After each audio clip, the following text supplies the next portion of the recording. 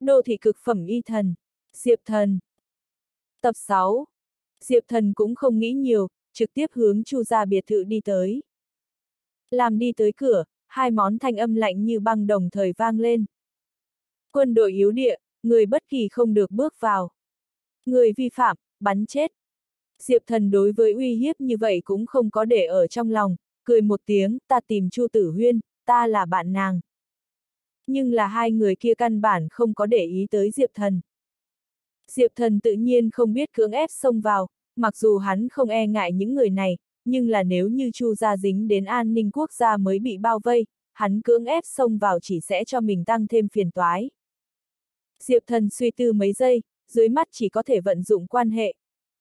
Có quân đội bối cảnh chỉ có hai người, ứng kình và Bách Lý Băng. Ứng kình điện thoại hắn không có, hắn chỉ có thể đến trong góc bấm Bách Lý Băng điện thoại. Diệp thần, ngươi làm sao nghĩ được đánh ta điện thoại? Bách Lý Băng hiên ngang thanh âm vang lên. Có chuyện muốn phiền toái ngươi một chút, Diệp thần nói. Bên đầu điện thoại kia Bách Lý Băng ngẩn ra, ở nàng nhìn lại, Diệp thần thực lực như vậy khủng bố, lại còn muốn tìm nàng hỗ trợ. Ngươi nói, có thể giúp ta nhất định giúp. Ngươi biết Ninh Ba Chu Gia đã xảy ra chuyện gì sao, ta bây giờ muốn vào Chu Gia biệt thự, bị quân đội lực lượng ngăn cản. Diệp thần nói. Bách Lý Băng tự nhiên không biết của Chu Gia sự việc, nàng trực tiếp về phục Diệp thần, ngươi ở cửa chờ một lát, ta liên lạc người, hắn sẽ tới giúp ngươi. Điện thoại cúp. Đại khái 10 phút sau đó, một chiếc bản số đặc thù chiếu hồng kỳ xa lái vào Chu gia biệt thự. Trên xe xuống liền một cái mặt chữ quốc trung niên nam tử, trực tiếp hướng Diệp Thần chạy tới, chào theo kiểu nhà binh, Diệp tiên sinh, là Bách Lý Tiểu Thư để cho ta tới. Diệp Thần gật đầu một cái, ngược lại là không nghĩ tới Bách Lý băng hiệu suất như thế cao. Trung niên nam tử cũng không nói nhảm, đi thẳng tới Chu ra cửa, nhìn một cái cửa chú đóng hai người, từ trong túi móc ra một bản giấy chứng nhận. Giấy chứng nhận mở ra, vậy hai cái chú đóng binh lính ngẩn ra, vội vàng nghiêm, cũng chào một cái quân lễ, bọn họ mới vừa muốn nói chuyện, trung niên nam tử ánh mắt liền báo cho biết một chút, bọn họ liền ngậm miệng. Trung niên nam tử xoay người đối với Diệp thần nói, Diệp tiên sinh, chúng ta cùng nhau đi vào. Được.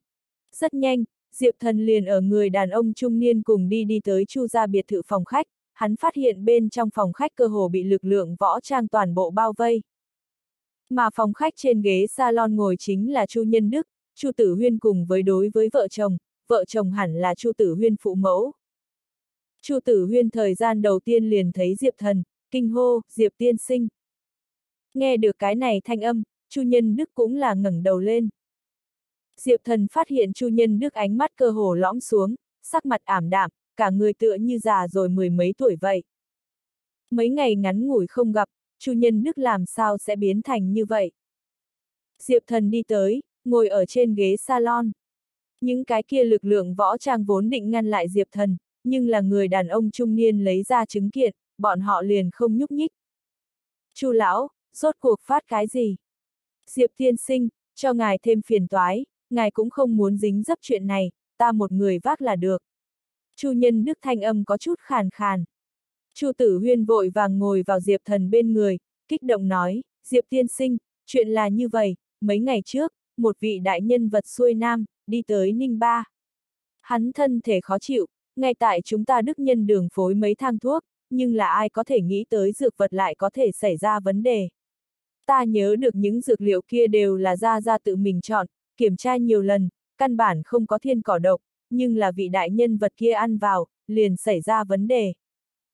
Diệp thần trong mắt híp lại, rất hiển nhiên, ở khâu trung gian xảy ra vấn đề, dược liệu bị người rất túi, chu gia không biết ngu đến làm loại này chuyện bất lợi tình. Còn như là ai, bây giờ đã không trọng yếu, việc cần kíp là cứu vãn.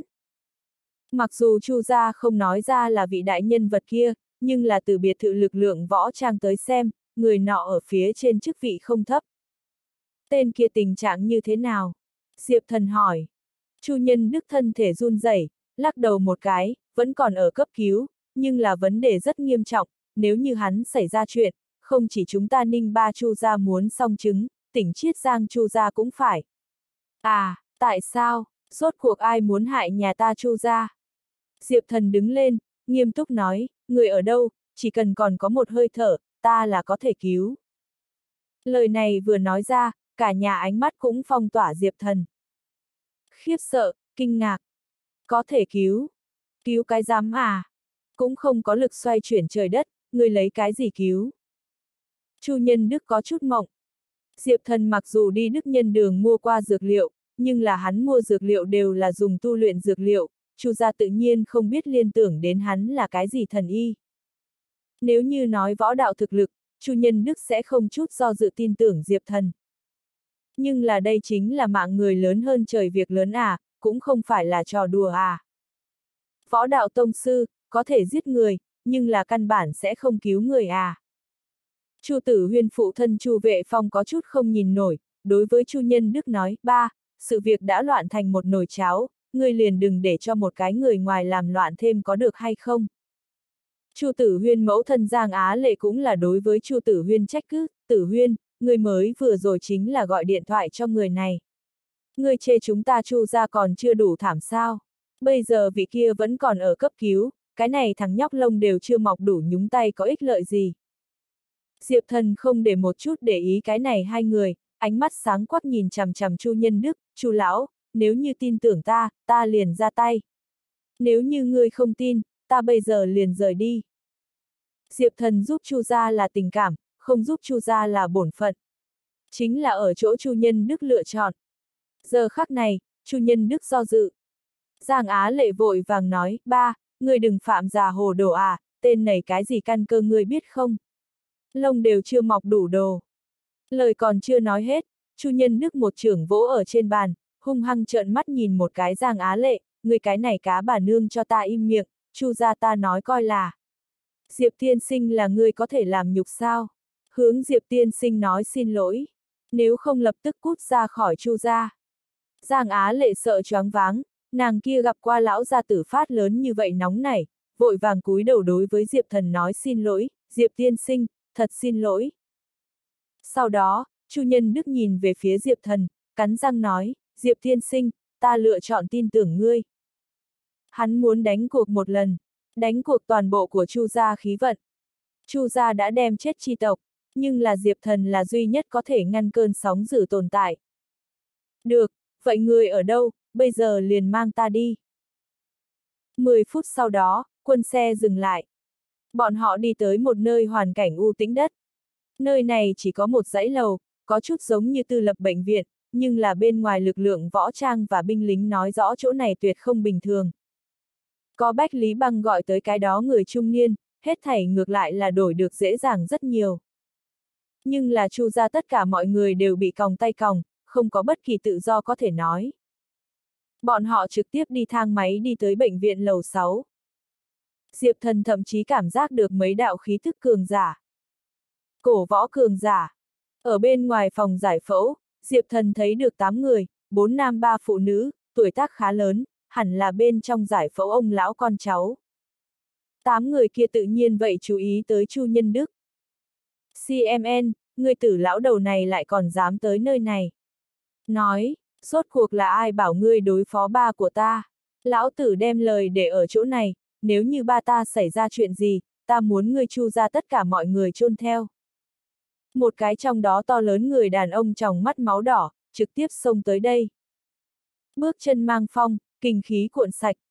Cổ võ giả. Bởi vì là khí ở trên đầu, người đàn ông kia trực tiếp một quyền hướng Chu Nhân Đức Huy tới. Tất cả mọi người sắc mặt đại biến. Một quyền này nện xuống, Chu Nhân Đức vậy vóc người căn bản không gánh nổi à. Ngay tại quả đấm muốn nện ở Chu Nhân Đức trên mặt thời điểm, Diệp Thần đưa tay ra một cái tay, trực tiếp nắm vậy kình khí 10 phần quả đấm. Người ở bên trong trước tỉnh lại, người không có tư cách động thủ. Bây giờ, cho ta cút. Một chữ cút, rơi xuống, đồng thời, Diệp Thần trên mình cuốn lên một cổ cường đại kình khí, thuận thế đẩy ra.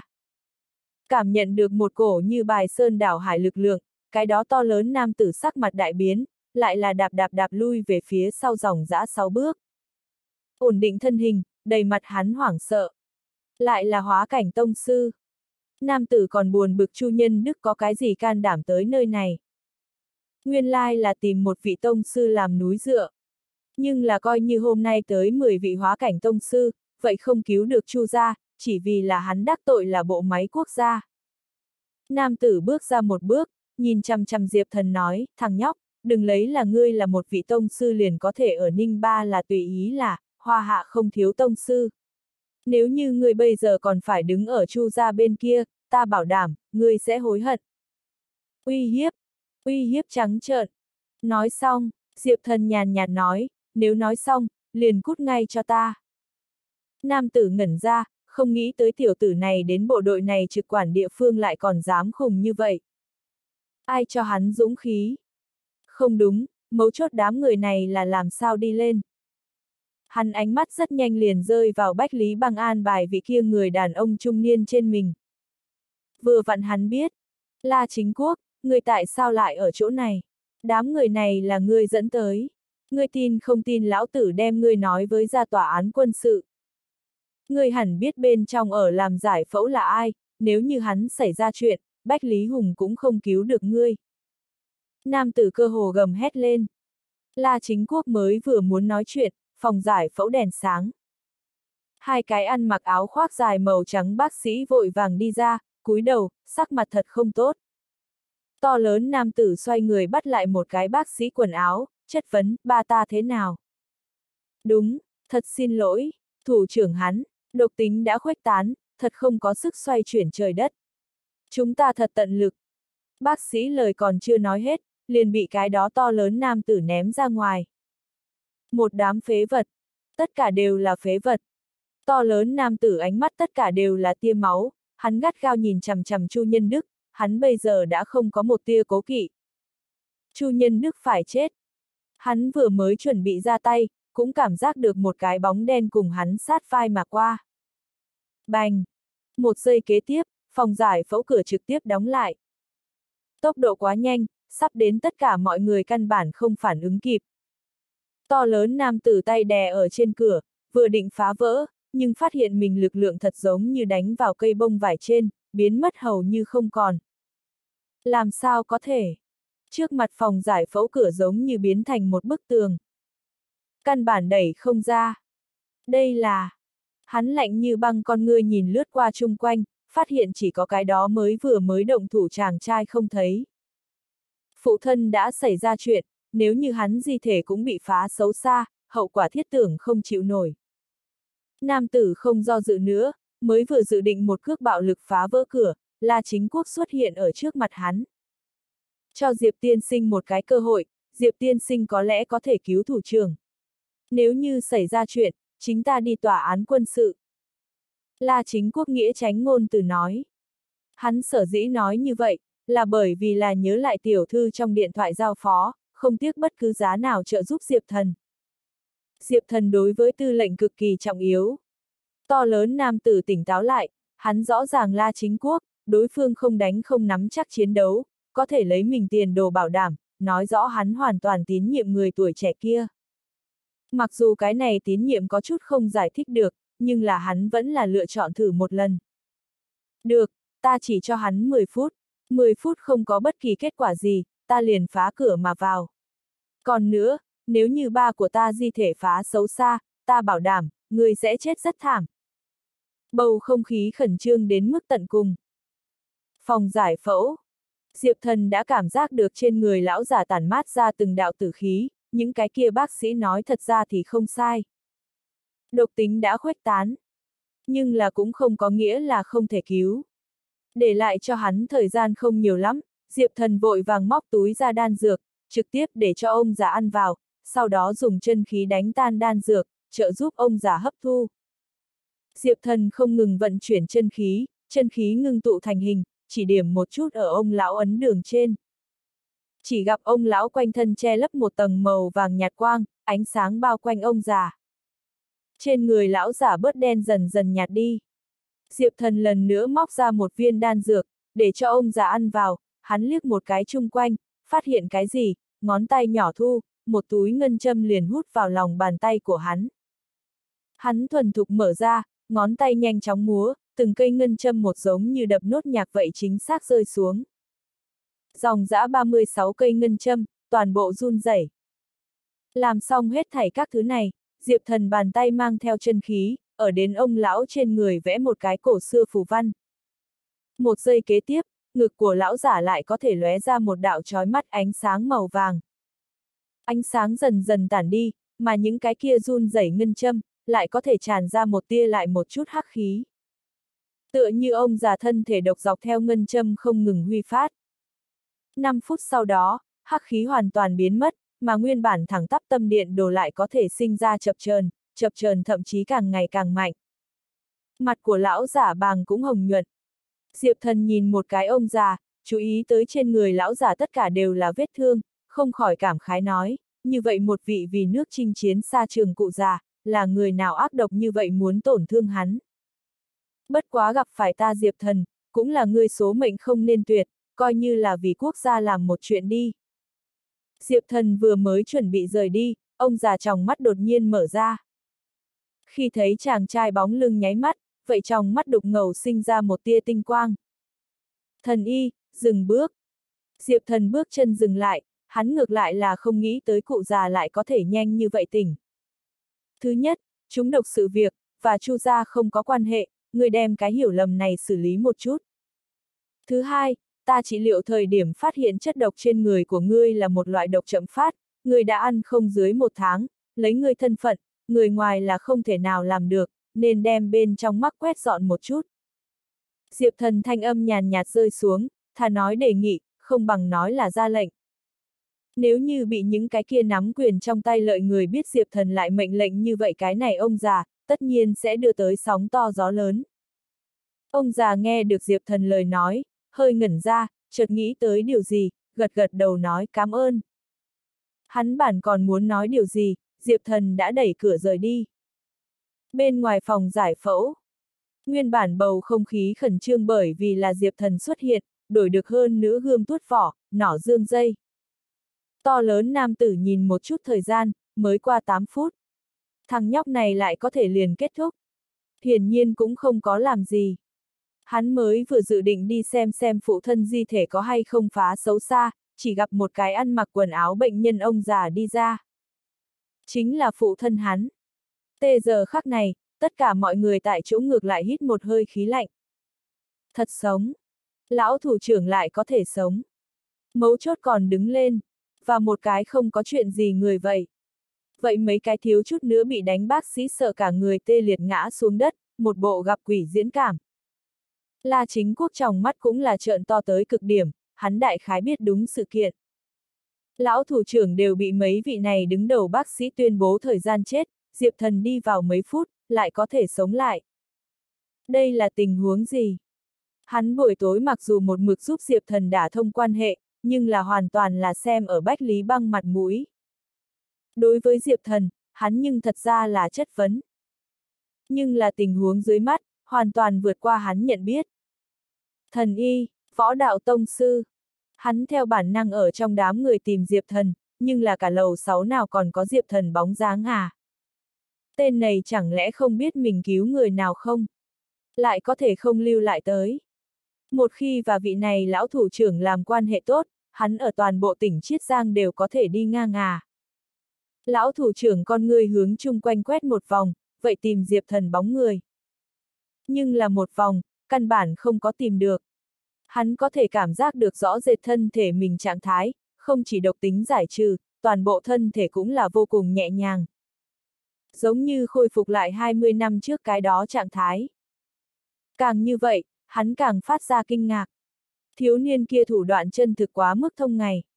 To lớn nam tử kịp phản ứng, một cái bước dài vọt tới, khá là kích động nói, ba, thật sự là ngươi sao? Ngươi sống lại. Lão thủ trưởng hừ lạnh một tiếng, chẳng lẽ ngươi còn hy vọng ta chết? Không không không, ba, ta không phải ý đó. Nhưng mà mới vừa rồi bác sĩ rõ ràng nói ngươi. Audio điện tử võ tấn bền. To lớn nam tử không có tiếp tục nói hết, hắn trong lòng thậm chí đang suy nghĩ, thật chẳng lẽ là thằng nhóc kia cứu tỉnh. Lão thủ trưởng trừng mắt một cái mình nhi tử, nói, nếu như không phải là vị thần y kia, ngươi có thể thật cấp cho bố ngươi chuẩn bị quan tài. Nói xong, lão thủ trưởng liền hướng chu nhân đức các người đi tới, hắn nhớ lại Diệp thần trước khi đi giao phó. Mấy người lính kia gặp lão thủ trưởng tới đây vội vàng kính cái tiêu chuẩn quân lễ, thủ trưởng. Chu gia là vô tội, mau tháo ra còng tay, các người có quyền gì làm như vậy? Lão thủ trưởng nghiêm túc nói. Dạ, thủ trưởng. Rất nhanh, chu gia tất cả mọi người đều khôi phục tự do, bọn họ nhìn trước mặt cụ già, có chút không dám nói chuyện. Mặc dù cái cụ già này đã về hưu, nhưng là tay hắn bên trong nắm ẩn hình quyền lực lại lớn đáng sợ. Mấy ngày nay, làm khó các người chu gia, ta hướng các người nói xin lỗi. Lão thủ trưởng mở miệng nói. Đây có thể đem chu nhân đức các người sợ gần chết. Thứ đại nhân vật này nói xin lỗi bọn họ làm sao chịu nổi à. Mấy người liền liền tỏ thái độ không có quan hệ. Lão thủ trưởng gật đầu một cái, thoại phong nhất chuyển, vị thần y kia các người chu ra có thể biết. Giờ khắc này, tất cả mọi người mới bừng tỉnh lão thủ trưởng tại sao nói xin lỗi. Hiển nhiên là bởi vì là Diệp Thần. Không có Diệp Thần, bọn họ có thể liền tự do cũng không có. Chu vệ phong vợ chồng sắc mặt có chút khó khăn xem, bọn họ vừa nghĩ tới lúc ấy phòng khách mình đối với Diệp Thần thái độ, hận không được tát mình một đợi mong. Nếu như lúc ấy lão gia tử không cô độc ném một cái, chu gia có thể thật xong rồi.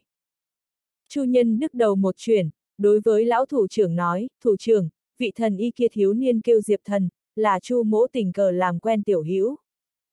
Diệp thần, tên rất hay. Lão thủ trưởng như có điều suy nghĩ gật đầu một cái, lại nói, người có biết hắn phương thức liên lạc. Biết là biết, nhưng là Diệp tiên sinh không quá vui vẻ quấy dày. Chu Nhân Đức có chút khó xử nói. Cuối cùng không có Diệp thần cho phép, tùy tiện bán đứng hắn tin tức không quá thỏa đáng. Lão thủ trưởng gật đầu một cái, vậy không bắt buộc, hắn phải biết một tin tức cá nhân, dễ như trở bàn tay. Đột nhiên, hắn xoay người, vậy đục ngầu con ngươi thay đổi có chút lạnh như băng, hắn gắt gao nhìn chằm chằm một cái có chút bối rối người phụ nữ, đối với bên người cảnh vệ viên phân phó nói, tiểu thôi, đưa chu ra mấy vị hồi biệt thự. Tiếp theo ta muốn dọn dẹp một ít ung thư. Dạ, thủ trưởng. Đêm, đen như mực. Ninh ba lấy bại, đến gần Thu Hoàng Sơn một nơi vườn trúc. Vườn trúc bên trong tọa lạc một nơi tứ hợp viện, chính là tưởng gia đại trạch. Giờ phút này tưởng gia đại trạch bên trong, bầu không khí ngưng trọng đến mức tận cùng, mà trong viện tử ở giữa bất ngờ là ba cái quan tài. Một vị ăn mặc phòng luyện công trung niên nam tử ngồi ở cao đường trên, thân thể run rẩy, con người đỏ thẫm. Hắn chính là tưởng gia mạnh nhất võ đạo tông sư tưởng nguyên lễ. Trung quanh tưởng ra tất cả cao thủ thở mạnh cũng không dám thở ra một hớp, bọn họ biết tưởng nguyên lễ đang đứng ở bùng nổ bên bờ. Dẫu sao hắn sủng ái nhất nhi tử tưởng văn lâm chết. Hơn nữa còn là chết thảm. Làm quan tài xuất hiện ở tưởng cửa nhà nháy mắt, tưởng nguyên lễ tức giận vung ra một quyền, mặt đất đều rời đi một đạo miệng khổng lồ. Tông sư cơn giận, căn bản không phải người bình thường có thể tiếp nhận. Bót, cao đường trên tưởng nguyên lễ một trưởng vỗ ở bên người án trên đài, cơ hồ ngay tức thì, án chiếc vỡ vụn. Một cổ cường đại đợt khí hướng bốn phương tám hướng oanh tạc đi. Có mấy vị tưởng ra cao thủ lại là không nhìn được lui về phía sau mấy bước, huyết khí trong cơ thể dâng trào. Rốt cuộc là ai? Tại sao phải động ta tưởng nguyên lễ nhi tử? Tại sao? Toàn bộ ninh ba, ai dám như thế không cho ta mặt mũi? Một tiếng kinh thiên gầm thét vang khắp chu vi mười dặm. Tưởng nguyên lễ thân thể run rẩy, mấy giây sau đó cưỡng ép đem tức giận trong lòng dưới áp chế tới, nhìn về phía hai người thanh niên. Văn Thủy, Văn Lực, quan tài là ai đưa tới, tra ra được chưa? Một người thanh niên tiến lên một bước, lắc lắc đầu nói, ba, chúng ta so với hạ mấy người kia dáng vẻ, tựa hồ không phải ninh ba người, cụ thể còn đang trong điều tra. Tưởng Nguyên Lễ trực tiếp đứng lên, hư lạnh nói, dõi mắt ninh ba, dám giết ta tưởng ra không có mấy người. Hơn nữa lần này Văn Lâm là tham gia hội đấu giá mới xảy ra chuyện, người đi điều tra hội đấu giá mỗi một người. Nhớ là mỗi một người, coi như đem ninh ba lật lần, cũng phải tìm được hung thủ kia.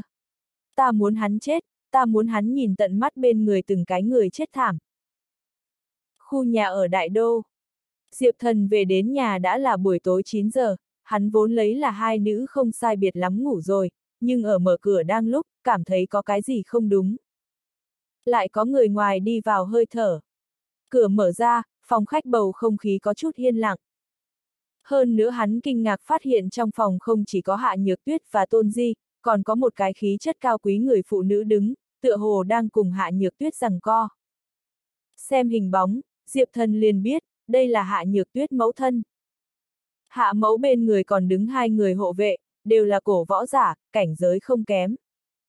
Hạ mẫu tự nhiên cũng là chú ý tới vào cửa Diệp Thần, con người nhìn lướt qua, hừ lạnh một tiếng, sau đó đối với Hạ Nhược Tuyết nói, người mấy ngày nay liền ở chỗ này sao nơi rách nát, người ở thói quen. Liền bồn tắm cũng không có, người làm sao tắm. Nhược Tuyết, không muốn đùa bỡn tính tình, người có thể trước không trở về tỉnh Chiết Giang, nhưng là vậy phải ở hồi ninh ba biệt thự đi. Hạ Nhược Tuyết con người có chút trong trẻo lạnh lùng và không vui, ngẩng đầu lên nói, mụ, ta cảm thấy nơi này rất tốt, chỉ ít so biệt thự kia có nhiệt độ lạnh như băng. Thời gian không còn sớm, ta phải nghỉ ngơi, người có thể đi. Tôn Di ở bên cạnh không biết nên làm thế nào cho phải, hắn nhà trọ bản thân chính là buôn bán ngắn gọn hộ hình, tự nhiên không bỏ được bồn tắm cái gì, nhưng là cư trú ngược lại còn có thể, hạ mẫu và hạ nhược tuyết tranh chấp có chút lâu, nàng cái này người ngoài không biết có nên hay không khuyên. Hạ mẫu lắc đầu một cái, nói qua đoạn thời gian chính là ngươi sinh nhật, ta đã là ngươi bắt đầu chuẩn bị tiệc sinh nhật, lần này vì ngươi, ta cố ý đem yến hội đặt ở Ninh Ba, đây là ta lớn nhất bước lui. Ngươi cùng ta trở về, đến lúc đó trong yến hội, ngươi sẽ thấy được chân chính thiên chi kiêu tử. Hạ nhược tuyết làm sao không hiểu mẫu thân dụng ý, trực tiếp cự tuyệt nói, tôn di đã đáp ứng cho ta qua sinh nhật, ta không lạ gì cái gì yến hội. Chỉ như vậy, hạ mẫu sắc mặt có chút không đúng, cuối cùng xuống thông điệp, nhược tuyết, người rốt cuộc có theo hay không ta trở về, ngươi là hạ gia thiên kim, ở tại nơi này hỗn tạp địa phương, người an toàn ai tới bảo đảm. Lời còn chưa nói hết, Diệp thần liền mở miệng nói, hắn an toàn, ta tới bảo đảm. Hạ mẫu xoay người, nhìn về phía bên người Diệp thần, cười lạnh nói, Diệp thần, ta biết ngươi hết thảy, nếu như ngươi thật có năng lực có thể bảo đảm nhược tuyết an toàn, năm đó ngươi phụ mẫu làm sao sẽ chết. Cái thế giới này quy tắc vận chuyển vượt quá ngươi tưởng tượng. ngươi loại này chỉ có thể ở tầng dưới chót dẫy ruộng người, căn bản không xứng rất nhiều hạ loại này cam kết. Hạ mẫu chữ chữ châu ngọc, hạ nhược tuyết chân thực nghe không nổi nữa, vội vàng nói, mụ, ngươi như vậy thật là quá đáng. Hạ mẫu có nhiều thú vị nhìn chằm chằm Diệp thần, gặp đối phương không nói câu nào, lại nói quá đáng. Nơi nào quá phận, ta chẳng qua là để cho thằng nhóc này sớm một chút thấy rõ cái thế giới này. Nhược tuyết, ta thật là không hiểu, người làm sao biết nhìn lên thằng nhóc này. Nếu có thể lực không có năng lực, muốn địa vị không có địa vị, ngày đó hoanh hoang người vậy nghe, nửa năm bên trong, để cho hạ ra không với cao nổi, người bất giác được loại này người đàn ông rất buồn cười không? Bây giờ thậm chí tuyên bố có thể bảo đảm ngươi an toàn, hắn lấy cái gì bảo đảm? Tạm thời bây giờ, hạ nhược tuyết có chút không cách nào phản bác. Nàng trong lòng mặc dù rất muốn tin tưởng Diệp Thần có thể làm được, nhưng là thực tế nặng nề không để cho nàng được không đối mặt. Diệp Thần không thể nào làm đến, coi như là có kỳ tích phát sinh cũng không khả năng. Cái thế giới này cấp bậc nấc thang, một mực tồn tại, người nghèo cũng hoặc là tầng dưới chót người muốn phải phá nấc thang những ràng buộc quá khó khăn. Đây cũng là tại sao người nghèo càng ngày càng nghèo, người giàu càng ngày càng giàu. Hai người bây giờ, khởi điểm và tài nguyên chênh lệch quá xa.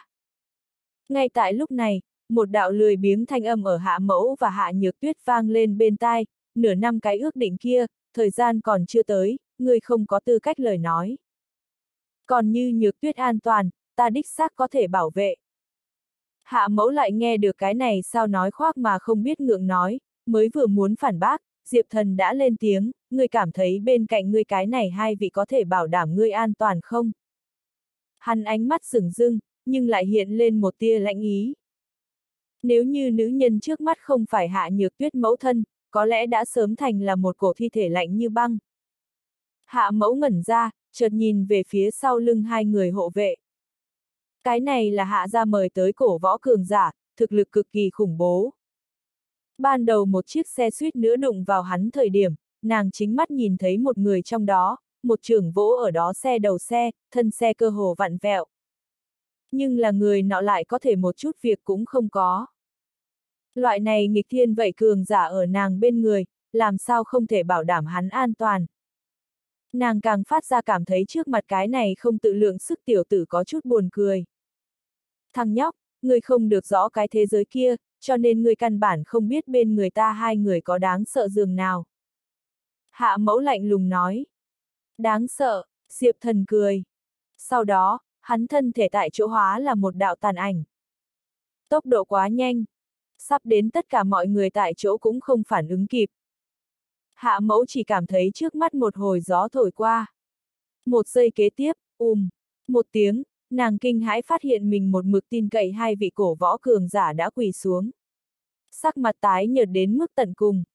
Khóe miệng lại là tràn ra một tia máu tươi. Hiển nhiên bị thương nặng. Các người là thế nào? Hạ mẫu trong mắt kinh hãi, thậm chí có chút không nói ra lời. Một màn này chân thực quá mức quỷ dị, trước một giây hai người còn thật tốt à. Ngồi trên ghế salon hạ nhược tuyết và tôn di cũng là mắt đẹp tràn ngập kinh ngạc, đây là đâu vừa ra.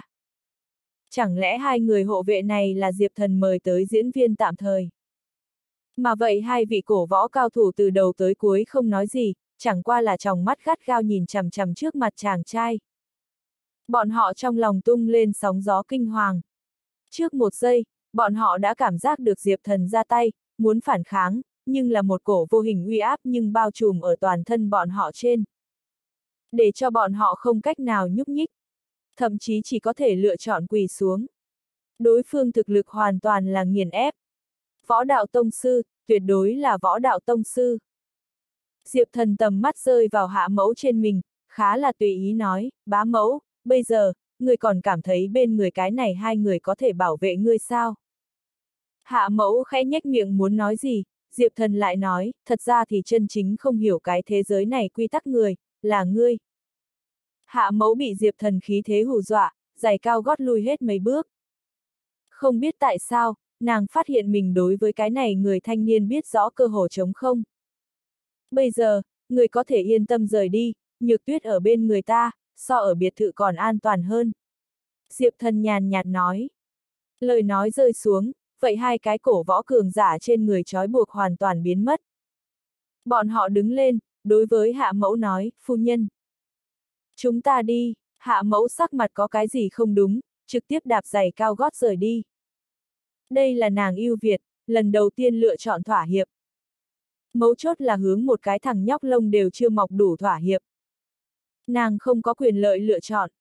Bên người hai cái cường giả đều như vậy, đối phương hoàn toàn là dùng hành động ngăn chặn hắn miệng. Xem ra cái này Diệp Thần còn cần điều tra nữa. Điều tra điểm chính chính là tên này biến mất 5 năm này rốt cuộc đi nơi nào. Cùng hạ mẫu rời đi, cửa hoàn toàn đóng lại một khắc kia, trên ghế salon hạ nhược tuyết và tôn di còn chưa phản ứng kịp. Mới vừa rồi rốt cuộc chuyện gì xảy ra? Vậy hai người cao thủ tại sao phải quỳ xuống? Chẳng lẽ Diệp Thần là cổ võ giả? Mấy giây sau đó, Tôn Di tỉnh hồn lại, đi tới Diệp Thần bên người, vòng vo mấy vòng, kinh ngạc nói, Diệp Thần, ngươi là làm sao làm được? Lại có thể đem nhược tuyết mẫu thân cũng tức giận bỏ đi. Mấu chốt vậy hai cái nam làm sao quỳ xuống? Diệp Thần nháy mắt mấy cái, cười híp mắt nói, thật ra thì, vậy hai người hộ vệ vừa vặn ta biết, một cái là chú ta, một cái là ta chiến hữu. Mới vừa rồi, bọn họ phối hợp ta đây. Nếu không cái này hai người xa lạ làm sao có thể hướng ta quỳ xuống. Diệp thần không hy vọng tôn gì dính dấp đến cái thế giới này tới, hắn có thể làm được, chính là dùng hết toàn lực bảo vệ tôn di con tim vậy mảnh thiên đường. Tôn di có chút không tin, nhưng là cũng không muốn quá nhiều truy hỏi. Không biết tại sao, nàng mơ hồ cảm thấy chuyện hôm nay và ngày đó trong nhà sông vào người ngoài sự việc có chút tương tự. Diệp thần trên mình tất nhiên có không muốn người biết đồ. Sau đó Tôn Di đi liền rửa tóc. Cả nhà chỉ còn lại Diệp thần và Hạ Nhược Tuyết, bầu không khí có chút yên lặng. Hạ Nhược Tuyết vẫn nhìn chằm chằm vào Diệp thần, không biết tại sao, nàng mơ hồ cảm thấy Diệp thần là cổ võ giả. Nàng hy vọng là như vậy, thật hy vọng. Bởi vì là hoa hạ nắm trong tay quy tắc người chính là cổ võ giả. Nếu như Diệp Thần thực lực đủ cường đại, liền có thể thay đổi hết thảy, thậm chí có thể lập ra quy tắc. Nhưng là Diệp Thần tuổi tác bầy ở chỗ này, hơn nữa trước khi điều tra, bỏ ra vậy biến mất 5 năm, tên này căn bản không có thể có cơ hội tu luyện. Coi như 5 năm này tu luyện, hiển nhiên cũng đã chậm à. Diệp thần, người rốt cuộc là dạng người gì? Hạ nhược tuyết thầm nghĩ. Thành tựu người trong cuộc Diệp thần tự nhiên bỏ mặc hai nữ nghĩ như thế nào, hắn điện thoại gieo tới, là thẩm hải hoa đánh tới. Hắn đi tới sân thượng, nhấn nút trả lời, thế nào? Diệp thiên sinh, tập đoàn thiên chính bên này xong hết rồi, không biết người đại diện trước luật pháp là lựa chọn ngài, vẫn là ngoài ra an bài người khác. Còn nữa, đại khái ngày mai, tập đoàn thiên chính thành lập tin tức có thể thì biết truyền khắp toàn bộ Ninh Ba, có thể hay không đối với ngài có ảnh hưởng. Diệp thần ánh mắt nhìn về phía hắc đêm, cười lạnh một tiếng, sẽ dùng ta tên chữ, ta phải nói cho Ninh Ba tất cả mọi người, ta Diệp thần trở về. Thẩm Hải Hoa nghe được Diệp thần những lời này, cả người giật mình. Ở hắn trong trí nhớ, Diệp thần là một vị cực kỳ người khiêm tốn. Mà xí nghiệp người đại diện trước luật pháp thân phận là nhạy cảm nhất tồn tại, hắn vốn lấy là Diệp Thần sẽ chọn để cho những người khác đảm nhiệm tập đoàn người đại diện trước luật pháp, lại không nghĩ rằng Diệp Thần cuối cùng lựa chọn bại lộ trong tầm mắt của mọi người. Tập đoàn Thiên Chính ở Ninh Ba thanh danh bất hảo, trong vòng phần lớn người đều biết 5 năm trước Diệp ra chuyện thảm. Một khi Diệp Thần và tập đoàn Thiên Chính đồng thời xuất hiện, vậy toàn bộ Ninh Ba thế cục cũng biết bị ảnh hưởng. Người có lòng tất nhiên sẽ liên tưởng đến tập đoàn Thanh Hòa cùng với Thanh Môn bị diệt và Diệp Thần quan hệ. Mặc dù những người này không có chứng cớ trực tiếp, nhưng là tập đoàn thiên chính rất dễ dàng thành là tất cả mọi người mục tiêu. Dẫu sao kinh thành vị đại nhân vật kia rời đi Ninh Ba, có thể ảnh hưởng của hắn lực vẫn còn ở, ở Ninh Ba, muốn nịnh hót vị kia quyền thế người hoặc là cậu ấm không đếm xuể. Thẩm Hải Hoa thành tựu thương nhân, so người bất kỳ đều biết cái này cửa hàng vòng có bao nhiêu chướng khí mù mịt. Một khi bại lộ, tập đoàn thiên chính thật nguy hiểm. Mấu chốt hắn lần trước yêu cầu Diệp Thần ba cái điều kiện, bây giờ một cái cũng không có xuất hiện à. Không có tránh phủ cương quyết phía sau đài, vậy không có một cái thế lực dưới đất chống đỡ, tập đoàn thiên chính khai trương nói không chừng đều không người tới cổ động. Diệp tiên sinh, ngài thật xác định, thẩm hải hoa nghiêm túc nói. Chắc chắn, Diệp thần nói, ta biết người đang lo lắng cái gì, chuyện 5 năm trước sẽ không phát sinh nữa, bây giờ, không người nào dám động tập đoàn thiên chính. Ngươi chỉ phải tin tưởng ta là được. Thẩm Hải Hoa còn có thể nói gì, chỉ có thể gật đầu cúp điện thoại. Có lẽ bắt đầu ngày mai, Ninh Ba muốn nghênh đón động đất, chẳng qua là sẽ không xảy ra chuyện là tập đoàn thiên chính, vẫn là những người đó. Diệp thần cúp điện thoại vừa mới chuẩn bị vào nhà, liền phát hiện một cái mã số xa lạ gọi lại. Diệp tiên sinh, ngài ở Thompson Riviera sao? Ta tới giao hàng, đại khái 5 phút liền đến. Diệp thần cái này mới phản ứng được, hẳn là Kim gia đem đấu giá biết đồ đưa tới. Hắn và hai nữ lên tiếng chào hỏi, liền đi ra ngoài. Làm đến Thompson Riviera lầu cuối thời điểm, hắn đã nhìn thấy hai cái người giao hàng, một cái trong đó chính là mang mũ lưỡi chai Kim Tiềm. Kim Tiềm thấy Diệp Thần, con người có giúp một cái, ban ngày lòng rung động tựa như vẫn còn ở. Hắn thành tựu cổ võ giả, cho tới bây giờ không có như thế sợ qua một cái người, hắn nhưng mà chính mắt thấy được người này giết tông sư như giết gà à. Diệp tiên sinh, ngài khỏe, ta là Kim. Ta biết, đem đồ vật bỏ vào đi. Diệp thần mở cửa, liền đối với hai người tỏ ý nói. Được được được. Không lâu lắm, Kim tiềm bọn họ liền đem đồ vật mang vào trong nhà, sau đó lại là lấy ra một cái hộp, thận trọng đưa cho Diệp thần, Diệp tiên sinh, ngài có thể tra nhìn một chút, lớn là bách thảo đỉnh, cái hộp này chính là tinh thần chi lệ. Nếu như có bất kỳ vấn đề đều có thể liên lạc ta. Diệp thần mở hộp ra, nhìn một cái tinh thần chi lệ, không có bất kỳ vấn đề. Sau đó đi tới cái đó to lớn cái dương trước, bàn tay nhẹ nhàng một thả, bành. Một tiếng, cái dương liền bị đánh rách mở. Thấy ngón này, Kim Tiềm và một người khác theo bản năng lui một bước, sắc mặt ảm đạm. Bởi vì bách thảo đỉnh tính đặc thù, đóng gói nhưng mà chọn lựa nhất là kiên cố kim loại Titan TS003 vật liệu, cần chìa khóa mới có thể mở, kết quả cái này Diệp tiên sinh lại có thể trực tiếp một trưởng liền thủng, đây cũng quá bạo lực liền đi. Diệp thần thấy bách thảo đỉnh, mừng rỡ trong lòng. Hắn chờ đợi vật này quá lâu. Có đan đỉnh, hắn luyện đan hiệu suất là có thể cao hơn trăm lần, dược liệu đáng sợ hơn. đến lúc đó tốc độ tu luyện cũng có thể tăng nhanh. Diệp thần đối với hai người kia phất phất tay, phân phó nói, đồ không có vấn đề, các người có thể rời đi. Kim tiềm để cho một người khác đi ra ngoài trước, sau đó đóng cửa lại, đi tới Diệp thần bên người, nhẹ giọng nói, Diệp tiên sinh, tiểu thư để cho ta mang một câu nói cho ngài. À, nói, Diệp thần rất là tò mò. Tưởng ra tưởng nguyên lễ nhận được vậy ba cổ thi thể, tức giận trình độ vượt ra khỏi chúng ta tưởng tượng, tưởng ra thậm chí bắt đầu điều tra hội đấu giá mỗi một người, muốn không được bao lâu, hắn có thể sẽ hoài nghi đến Diệp tiên sinh trên đầu. Cho dù hắn không có thực chất chứng cớ, dựa theo tưởng nguyên lễ tính cách, thà giết lầm một ngàn, cũng không chịu thả qua một cái, tiểu thư lo lắng tưởng nguyên lễ sẽ đối với Diệp tiên sinh ra tay, cho nên hy vọng Diệp tiên sinh tạm thời rời đi Ninh Ba. Tiểu thư đã sắp xếp xong xuôi máy bay tư nhân, chỉ cần Diệp tiên sinh gật đầu, lập tức đưa Diệp tiên sinh đi Tam Á, liền làm du lịch giải sầu một chút. Diệp thần cười một tiếng, đối với Kim Tiềm nói, giúp ta cảm ơn các người tiểu thư, hắn ý tốt ta tâm lĩnh, nhưng là ta sẽ không đi. Tưởng nguyên lễ muốn đi đối phó ta tốt nhất, chỉ sợ hắn không đến. Kim tiềm nghe phía sau câu nói kia, hung hãn ngược lại hít một hơi khí lạnh, tim tựa như bị búa nện vậy. Cái này Diệp tiên sinh lại muốn trực diện tưởng ra. Hơn nữa nhìn dáng dấp hoàn toàn không sợ tưởng nguyên lễ vị này tông sư bảng nhân vật. Diệp tiên sinh là ngu sao? Hắn căn bản không biết rõ tưởng ra đáng sợ à. Diệp tiên sinh thực lực cố nhiên rất mạnh, nhưng là hắn giết tông sư và tưởng nguyên lễ nhưng mà thiên kém vạn đừng à. Diệp tiên sinh, nghĩ lại à? Kim tiềm lo lắng nói. Diệp thần trực tiếp mở cửa, ánh mắt ra hiệu một cái, bất đắc dĩ, Kim tiềm chỉ có thể rời đi. Dù sao Kim ra thái độ đã biểu minh, là Diệp tiên sinh mình không nắm lấy cơ hội. Cùng tất cả mọi người rời đi sau đó, Diệp thần trực tiếp một tay đem bách thảo đỉnh dơ lên, lại là đặt ở vị trí thích hợp, lấy ra trước ở Đức Nhân đường mua dược liệu, trực tiếp đưa vào trong đó, dẫn động đan hỏa, chân khí bao trùm, bắt đầu luyện chế đan dược.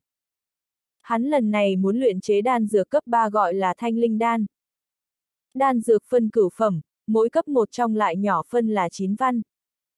Thanh linh đan được gọi là tu luyện tăng tốc đan, có thể giúp cường giả đột phá tu luyện giới hạn, nếu như khai nguyên cảnh tầng 9 cường giả uống, tất nhiên lập tức đột phá đến khí động cảnh. Nếu như mượn thanh linh đan, hơn nữa tu luyện, Diệp Thần tất nhiên nhanh nhất tốc độ vượt qua khí động cảnh. Đến lúc đó, trong nháy mắt giết tông sư cũng không quá đáng. Hắn đóng chặt hai tròng mắt, luyện chế đan dược cần từng bước phi doanh, tâm tĩnh như nước, tâm vô tạp niệm. Một khi phiền lòng khí táo, tâm trạng mất khống chế, đan dược tất nhiên thất bại, thậm chí sẽ tổn hại võ đạo tâm cảnh. Không biết qua bao lâu, toàn bộ tầng chót cũng truyền tới một cổ mùi thuốc nồng nặc. Bách thảo đỉnh lại là hơi tản ra ánh đỏ. Đột nhiên, đinh, một tiếng, một cổ đan dược hơi thở từ bách thảo đỉnh lan truyền ra, hơi thở này cực kỳ cường thế, không khỏi làm Diệp thần tâm thần đông lại một cái. Thành công! Diệp thần cũng không lo đan dược cực cao nhiệt độ, trực tiếp lấy ra ngoài. Rất nhanh, hắn liền phát hiện dòng dã 10 viên đan dược, lại có 6 viên thuốc hư. Cũng may có bốn viên thành công. Khi thấy rõ còn dư lại bốn viên thanh linh đan, Diệp thần con ngươi co giúp một cái, giống như gặp quỷ vậy. Bởi vì là trong đó có hai cây lại ba cấp 7 văn. Đây chính là ba cấp 7 văn à. Phẩm chất thật tốt. Làm sao có thể? Diệp thần trước liền có chuẩn bị tâm lý, lần này có thể luyện chế ra mấy cái ba cấp 3 văn cũng không tệ, bây giờ lại xuất hiện 7 văn đan dược, hoàn toàn thoát khỏi hắn nhận biết. Dẫu sao những dược liệu này không tính là cao cấp, theo lý mà nói, không thể nào luyện chế ra bảy văn đan dược. Chẳng lẽ, Diệp thần ánh mắt rơi vào bách thảo đỉnh trên, dưới mắt chỉ có một loại có thể, đó chính là bách thảo đỉnh tăng lên dược liệu thuộc tính. Xem ra lần này là mua thấp bán cao, cái này bách thảo đỉnh coi như thả vào chỗ đó, cũng là chân bảo cấp cái khác tồn tại, mình là được lợi quá đáng. Diệp thần đem vậy hai cây ba cấp 7 văn thanh linh đan bỏ vào một cái hộp, thận trọng đặt ở túi. Thứ tốt, tự nhiên muốn lưu đến cuối cùng. Còn như ngoài ra hai cây thì một hơi nuốt đi vào. Ngay tức thì, thuốc mùi thơm khắp nơi, một cổ cực kỳ hơi thở ở trong đan điền không ngừng đụng. Muốn đột phá. Diệp thần mừng rỡ, vội vàng ngồi xếp bằng, vận chuyển, Thời khắc này hắn tựa như tiến vào một cái vi diệu cảnh giới. Hết thảy cũng hay không thể nói. Hắn quanh thân bị một đạo hồng quang bao trùm, khí tức cường đại càng làm cho mặt đất cũng chuyển đến vẻ run rẩy. Cũng không lâu lắm, một viên đá màu đen từ diệp thần trong túi bay ra. Trực tiếp trôi lơ lửng ở hắn trên đỉnh đầu. Sau đó, một đạo cột sáng phóng lên cao. Phá! Diệp thần nổi giận gầm lên một tiếng, thân thể những ràng buộc toàn bộ đánh vỡ. Tu vi cấp tốc leo lên. Khai nguyên cảnh tầng thứ 6, thành công. Nhưng là hết thảy các thứ này xa không có dừng lại, bởi vì là tầng thứ 6 vốn là sắp đột phá, dược liệu còn không có hoàn toàn phóng thích.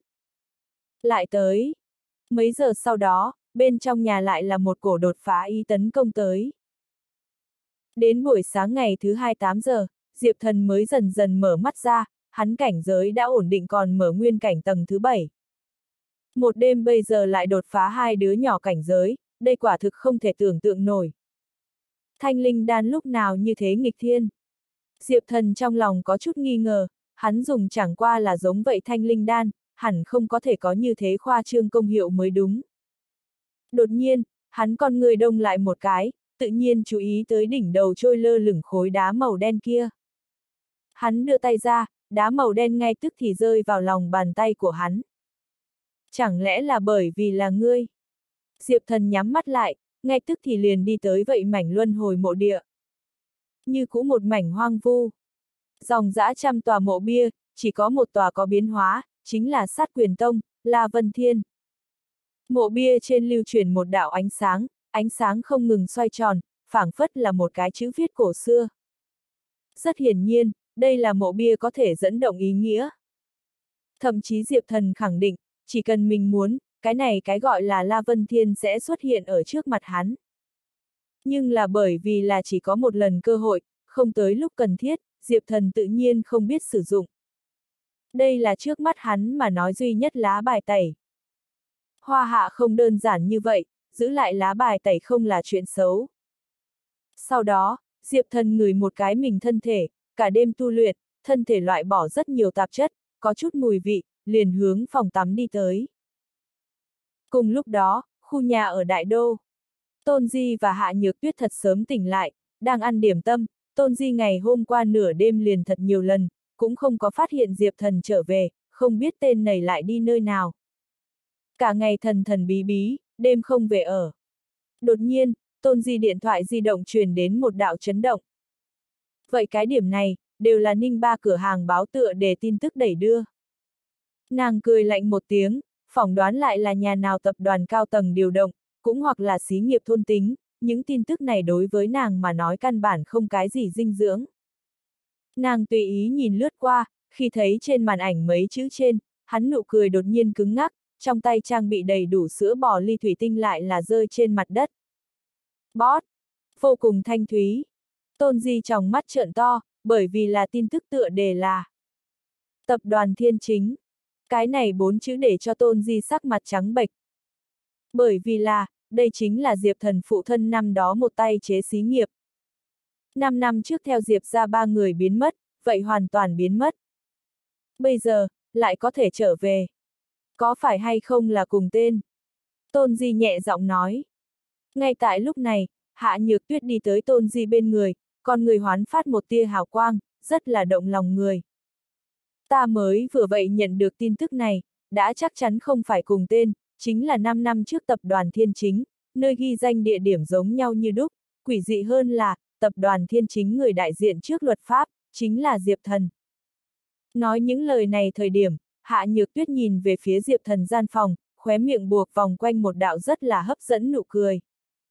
Tên này là đang hướng về mình mẫu thân tuyên chiến, vẫn là lại hướng toàn bộ ninh ba tuyên chiến. Hắn thực lực thật đủ chưa? Một cái xí nghiệp ghi danh lại có thể nói rõ cái gì? Bất quá tập đoàn thiên chính tên chữ vậy quá nhạy cảm đi. Tôn Di, ngày mai Ninh Ba có lẽ sẽ rất có ý tứ. Ninh Ba sở ra, hội nghị khẩn cấp. Một gian ước chừng 80 bằng phẳng hội nghị gia tộc thính, ngồi 15 người. Cái này 15 người cơ hồ là sở ra nhất làm trụ cột tồn tại. Sở thục nhiên vậy ở trong đó. Mặt nàng sắc có chút ảm đạm, gắt gao nhìn chằm chằm điện thoại di động tin tức. Tập đoàn Thiên Chính trở về. Làm sao sẽ trở về? Mấu chốt trên nét kiểm tra đại diện pháp nhân tên chữ, chính là Diệp Thần. Tên này không có chết. Cùng tên cũng sẽ không trùng hợp như vậy đi, tập đoàn tên và người đại diện trước luật pháp và 5 năm trước đừng diệt Diệp ra đều có quan. Mấu chốt tập đoàn thiên chính cái này bốn chữ cơ hồ không có xí nghiệp dám ghi danh à. Vân Hồ Sơn trang tiệc rượu kia nhưng mà vô số ninh ba người mộng yểm. Vị đại nhân vật kia mặc dù hồi kinh, nhưng là uy lực còn lại vẫn còn ở à. Ai dám ghi danh tập đoàn thiên chính sao, người đó chính là tự tìm cái chết. Nàng thật chặt nắm điện thoại di động, trên nét còn không có tra được cái này kêu Diệp Thần tấm ảnh, nhưng là gia tộc đã đi điều tra. Muốn không được bao lâu, sẽ có kết quả. Mọi người yên lặng một chút, kết quả điều tra đã đi ra rồi, ở Cục Công Thương ghi danh tập đoàn thiên chính người đại diện trước luật pháp Diệp Thần, chắc là 5 năm trước rơi vào hồ đông tiền cái đó Diệp ra phế vật. Đây là hắn ghi danh tấm ảnh. Nói chuyện chính là sở thục nhiên phụ thân, sở chính duyên. Buổi sáng thấy tập đoàn thiên chính tái hiện ninh ba tin tức, hắn lập tức tổ chức gia tộc hội nghị khẩn cấp. Tại sao? Bởi vì là tập đoàn thiên chính căn bản cũng không nên tồn tại. Sở thục nhiên ngẩng đầu lên, nàng thân thể run rẩy, khi thấy trên màn ảnh lớn tấm ảnh, nàng vậy xinh đẹp con người hoàn toàn trợn to, giống như gặp được cái gì không thể tưởng tượng nổi sự việc vậy. Vậy tấm trong hình chàng trai thật là giống như là búa nện, đem tim nàng đều phải đánh chia năm xẻ bảy. Đây không phải là cái đó câu lạc bộ ngự hào phục vụ viên sao. Hắn là Diệp Thần. Hắn lại có thể thật sự là Diệp Thần. Hắn thế nào lại là Diệp Thần? Cái đó Diệp ra phế vật làm sao trở thành một vị cổ võ giả. Cặp kia hèn yếu ánh mắt làm sao biến thành áp đảo tất cả mọi người trên bá đạo. Sở chính duyên không chút nào chú ý tới con gái diễn cảm, tiếp tục nói, tập đoàn thiên chính xuất hiện cũng không đáng sợ, đáng sợ là tập đoàn thiên chính chính là thành lập ở trên tập đoàn Thanh Hòa. Tập đoàn Thanh Hòa chính cảnh minh ngay tại mấy ngày trước chết. Tại sao chết? Cảnh sát thông báo là hỏa hoạn bất ngờ, ta mới đầu cũng như vậy lấy là, nhưng là khi thấy hôm nay tin tức. Ta không thể không suy nghĩ nhiều, cái này rất có thể là tập đoàn thiên chính trả thù. Không chỉ như vậy, còn có một việc, mọi người có thể rõ ràng hơn. Vậy chính là ninh ba thế lực lớn nhất thanh môn mấy ngày trước bị cảnh sát một nồi kết thúc. Sự thật thật là thế này phải không? Ta nói cho các người, khẳng định không phải. Ta thông qua một người bạn đó rõ ràng, lúc ấy cảnh sát chạy tới, tập đoàn Thanh Hòa trụ sở chính tất cả đều là thi thể, ước chừng mấy trăm người thi thể. Thanh môn mấy vị võ đạo tông sư, bao gồm thanh môn môn chủ, tất cả đều chết thảm. Ta có thể nói cho các người, tập đoàn thiên chính thành lập là rất có thể ở một đống trên thi thể tạo dựng lên. Hết thảy tất cả chúng ta sở ra đều có thể không quan tâm, nhưng dưới mắt chỉ có quan tâm một chuyện, tập đoàn thiên chính sau lưng rốt cuộc là ai? Sở chính duyên thanh âm vô cùng kích động. Ông! Giờ khắc này, sở thục nhiên đầu óc trống rỗng. Nàng tim thật giống như bị một cổ vô hình quả đấm đập vào. Lấy là đáp án này, nàng biết, chính là năm đó cái đó bị nàng gọi là phế vật diệp thần à.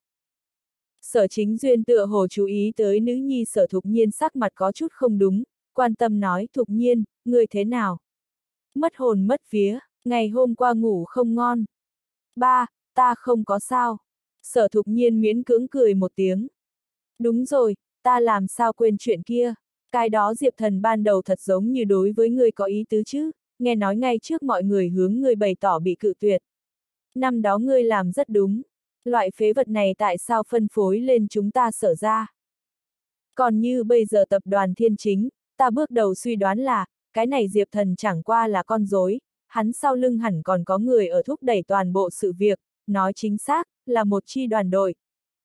Nói được một nửa, hắn điện thoại vang lên, hắn trực tiếp đi bên cạnh nhận một cú điện thoại. Một phút sau đó, sở chính duyên lại cười híp mắt đi trở về, đối với tất cả mọi người nói, sự việc đã tra ra được, cái này Diệp Thần đứng sau lưng chính là tập đoàn Bắc danh Thẩm Hải Hoa, toàn bộ tập đoàn thiên chính quản lý ekip đều là Thẩm Hải Hoa xây dựng lên, bất quá, ta thật giống như nhớ được cái này Thẩm Hải Hoa trước không phải bệnh ung thư sao. Làm sao lại sống đến giờ? Xem ra là bệnh hồ đồ, liền tập đoàn thiên chính danh tự này cũng dám lấy. Ta đây muốn xem xem ngày mai hắn mở thế nào nghiệp. Dõi mắt toàn bộ ninh ba, có đầu óc người cũng sẽ không đi cổ động. Cùng lúc đó, Châu Giang khu biệt thự. Hạ mẫu tự nhiên cũng là biết tập đoàn thiên chính tin tức. Vừa nghĩ tới chuyện phát sinh ngày hôm qua tình, nàng lòng vẫn còn sợ hãi. Nàng để cho hạ ra đi suốt đêm điều tra Diệp Thần 5 năm này chiều hướng, nhưng là không biết vì sao, lật lần hoa hạ sổ cư khố cho dù là ám võng, cũng không có Diệp Thần bất kỳ tin tức. Năm năm này, Diệp Thần giống như nhân gian bốc hơi vậy. Giờ phút này, nàng có nhiều thú vị nhìn trong tay tập đoàn thiên chính tư liệu, cười lạnh nói, Diệp Thần à Diệp Thần, người thật rốt nát, người lấy là người bước vào cổ võ, thành lập tập đoàn thiên chính là có thể dung chuyển ta hạ ra địa vị. Lý tưởng cùng thực tế ngươi căn bản không phân rõ. Cho dù ngươi có thẩm hải hoa trợ giúp, cho dù ngươi thực lực rất mạnh, thì như thế nào? Ta hạ ra chỉ cần nhúc nhích một chút ngón tay, cũng đủ để đem ngươi mơ ước phá hủy. Hạ quân, hạ mẫu đột nhiên hô. Một cái ăn mặc tây trang trung niên nam tử đi tới hạ mẫu trước mặt, cung kính nói, phu nhân, có gì phân phó. Hạ mẫu tiện tay cầm trong tay tư liệu vứt vào thùng rác, sau đó lạnh lùng nói, đi truyền một cái tin, ngày mai Ninh ba tập đoàn thiên chính khai trương, chỉ cần là cho tập đoàn thiên chính cổ động tặng hoa giỏ, bất kể là xí nghiệp còn là một người, đều là ta hạ ra kẻ địch. Lời này vừa nói ra, trung niên nam tử sắc mặt hoàn toàn thay đổi. Phu nhân đây là muốn triệt để làm sập một cái xí nghiệp à. Kiên quyết như vậy thái độ hoàn toàn là phải đem tập đoàn thiên chính đẩy về phía tuyệt lộ à. Hạ ra uy tín bày ở nơi đó, còn ai dám đi cổ động. Nói không chừng sáng sớm ngày mai, một người cũng không dám bước vào tập đoàn thiên chính. Đến lúc đó, đủ để thành là trên lịch sử nhất lạnh tanh xí nghiệp. Thậm chí còn sau này tập đoàn thiên chính nghiệp vụ phát triển, tất nhiên không có một nhà hợp tác cửa hàng. Liên minh hữu cũng không có xí nghiệp, không chết mới là lạ. Sáng sớm, cơ hồ toàn bộ ninh ba gia tộc và xí nghiệp đều biết tập đoàn thiên chính tin tức.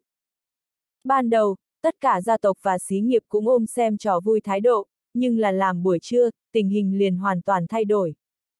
Bởi vì là tỉnh Chiết Giang hạ thị nhóm tài chính người phụ trách tỏ thái độ rõ ràng, chỉ cần ngày mai cổ động tập đoàn thiên chính, bỏ mặc xí nghiệp còn là một người, thì đồng nghĩa với và hạ thị nhóm tài chính là địch. Bất kỳ hạ thị nhóm tài chính dưới cờ xí nghiệp, cũng đoạn tuyệt quan hệ hợp tác. Tin tức này xuất hiện, ở toàn bộ Ninh Ba tung lên sóng to gió lớn. Hạ thị nhóm tài chính sau lưng là Giang Nam Hạ Gia. Rất hiển nhiên, tỉnh Chiết Giang gia tộc cao cấp muốn phong sát tập đoàn thiên chính. Năm năm trước, tập đoàn thiên chính bị kinh thành vị đại nhân vật kia phong sát. Năm năm sau đó, tập đoàn thiên chính lại bị tỉnh Chiết Giang hạ gia phong sát. Tất cả mọi người đối với tập đoàn thiên chính cùng với cái đó đột nhiên xuất hiện Diệp Thần có chút đồng tình. Cái này Diệp Thần nhất định chính là mệnh sát cô tinh. Đến buổi tối, tình hình một phát không thể thu thập. Bởi vì là tỉnh Chiết Giang đệ nhất gia tộc sở ra ban bố giống nhau thanh minh, phong sát tập đoàn thiên chính. Ngay sau đó, tỉnh Chiết Giang còn dư lại ba gia tộc lớn, triệu gia, lục gia, vạn gia cũng đều tỏ thái độ, phong sát tập đoàn thiên chính. Ngày mai bất kỳ dám đi tập đoàn thiên chính cổ động xí nghiệp và người, thì chẳng khác nào đắc tội ninh ba bốn lớn gia tộc cao cấp cùng với tỉnh Chiết Giang hạ gia. Không chỉ như vậy, chuyện này thậm chí liên lụy tập đoàn Bắc Danh. Tập đoàn Bắc Danh lấy được toàn bộ tỉnh Chiết Giang ngăn chặn, giá cổ phiếu sụt đột ngột. Trực tiếp rớt giá sàn. Thẩm hải hoa tài sản co lại một phần ba. Trên nét thậm chí có không thiếu xí nghiệp ra và người phát trang blog, để cho tập đoàn thiên chính cút ra khỏi Ninh Ba. Tạm thời bây giờ tập đoàn thiên chính trở thành Ninh Ba nóng bỏng nhất đề tài. Có chút không biết tên quần chúng bu quanh cũng đang tò mò, cái này tập đoàn thiên chính là một nhà mới vừa thành lập xí nghiệp, tại sao đắc tội nhiều như vậy đại lão? Nhất định chính là tường đổ mọi người đẩy à. Đêm đến, Thompson Riviera lầu cuối. Diệp thần bởi vì là trạng thái cũng không tệ, vẫn luôn đang tu luyện. Điện thoại di động thuộc về trạng thái tắt máy. Đến buổi tối 7 giờ, mở máy một cái, Diệp thần lại có thể phát hiện có hơn 80 điện thoại. Tôn Di, Hạ Nhược Tuyết, Thẩm Hải Hoa, Diệp Lăng Thiên, Bách Lý Băng các người cũng đánh hết mấy, thậm chí còn có mấy cái là không biết dãy số. Đây là thế nào, ngày tận thế sao? Diệp thần mới vừa thì thầm câu, thẩm hải hoa điện thoại liền lại đánh tới. Diệp thần nhấn nút trả lời, không lâu lắm, bên đầu điện thoại kia liền truyền đến thẩm hải hoa thanh âm rồn rập. Diệp tiên sinh, ngài cuối cùng tiếp điện thoại. Thế nào? Diệp tiên sinh, xảy ra chuyện lớn, thiên đại chuyện à? Tỉnh Chiết Giang hạ ra cùng với Ninh Ba tứ đại gia tộc Liên Hiệp tuyên bố ngăn chặn tập đoàn thiên chính à? Không chỉ ngày mai khai trương phải bị ảnh hưởng, sau này chúng ta nghiệp vụ đều sẽ có ảnh hưởng à? Thậm chí tập đoàn Bắc danh cổ phiếu cũng xuống ngã lợi hại à? Diệp thần nhướng mày một cái, ngược lại là không nghĩ tới hạ nhược tuyết mẫu thân sẽ âm thầm tới một súng. Liên hiệp ngăn chặn, không muốn để cho tập đoàn thiên chính sống. Diệp tiên sinh, nếu không, chúng ta đổi một thời gian khai trương đi, ngày mai liền cổ động tặng hoa người đều không, ta bản dự định để cho mấy người bạn cổ động, kết quả bọn họ liền ta điện thoại đều không tiếp. Ninh Ba đã có ba bách gia xí nghiệp ở phía chính phủ trang web phát thông báo ngăn chặn chúng ta. Tiếp tục như vậy, ngày mai, tập đoàn Thiên Chính sẽ trở thành là tỉnh Chiết Giang thậm chí còn toàn quốc cười nhạo à. Diệp thần cười lạnh một tiếng, đổi thời gian. Tại sao phải đổi thời gian? Bọn họ ngăn chặn sẽ để cho bọn họ ngăn chặn, đến lúc đó chúng ta tập đoàn Thiên Chính sản phẩm, bọn họ vậy không tư cách dùng. Người phái người làm một chuyện, ghi chép tất cả ngăn chặn xí nghiệp và gia tộc tin tức, sau đó ở chúng ta trang web tuyên bố thông báo, những người này sau này cũng không có tư cách mua và sử dụng tập đoàn thiên chính sản phẩm. Chúng ta bây giờ căn bản không có sản phẩm à. Thẩm Hải Hoa khóc không ra nước mắt. Sẽ có, ta mấy ngày nay sẽ giao cho ngươi. Thời gian thật không thay đổi. Ngày mai sẽ rất thảm à. Cũng chờ xem chúng ta cười nhạo. Thẩm Hải Hoa dãy dụa nói.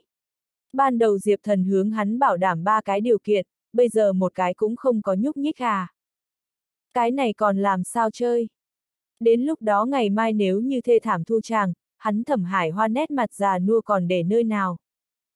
Diệp thần lạnh như băng con ngươi nhìn về phía ngoài cửa sổ, khóe miệng lộ ra một đạo nụ cười tự tin, không cần đổi, liền sáng mai. Đoạn này thời gian ngươi cực khổ, sớm nghỉ ngơi một chút. Tiếp theo liền giao cho ta đi. Ta không chỉ muốn tập đoàn thiên chính bình thường khai trương, ta còn muốn dạng dỡ đánh tất cả mọi người mặt. Cúp điện thoại, Diệp Thần trực tiếp lại cho Chu Nhân Đức cùng với Nam Giang Vương trở về một cú điện thoại. Trên căn bản cũng là vì chuyện ngày mai. Diệp Lăng Thiên lại là hỏi Diệp Thần ngày mai hắn có cần hay không tự mình ra mặt, nhưng là bị Diệp Thần cự tuyệt. Nam Giang Vương thân phận quá mức đặc thù, ở toàn bộ tỉnh Chiết Giang đều là không người dám chiêu tồn tại, trước mắt hắn ở trong bóng tối là đủ rồi. Một cái nho nhỏ ninh ba, còn không cần hắn ra mặt. Thời gian, hắn lại nhận được một cú điện thoại, để cho hắn bất ngờ là một vị xa lạ thanh âm.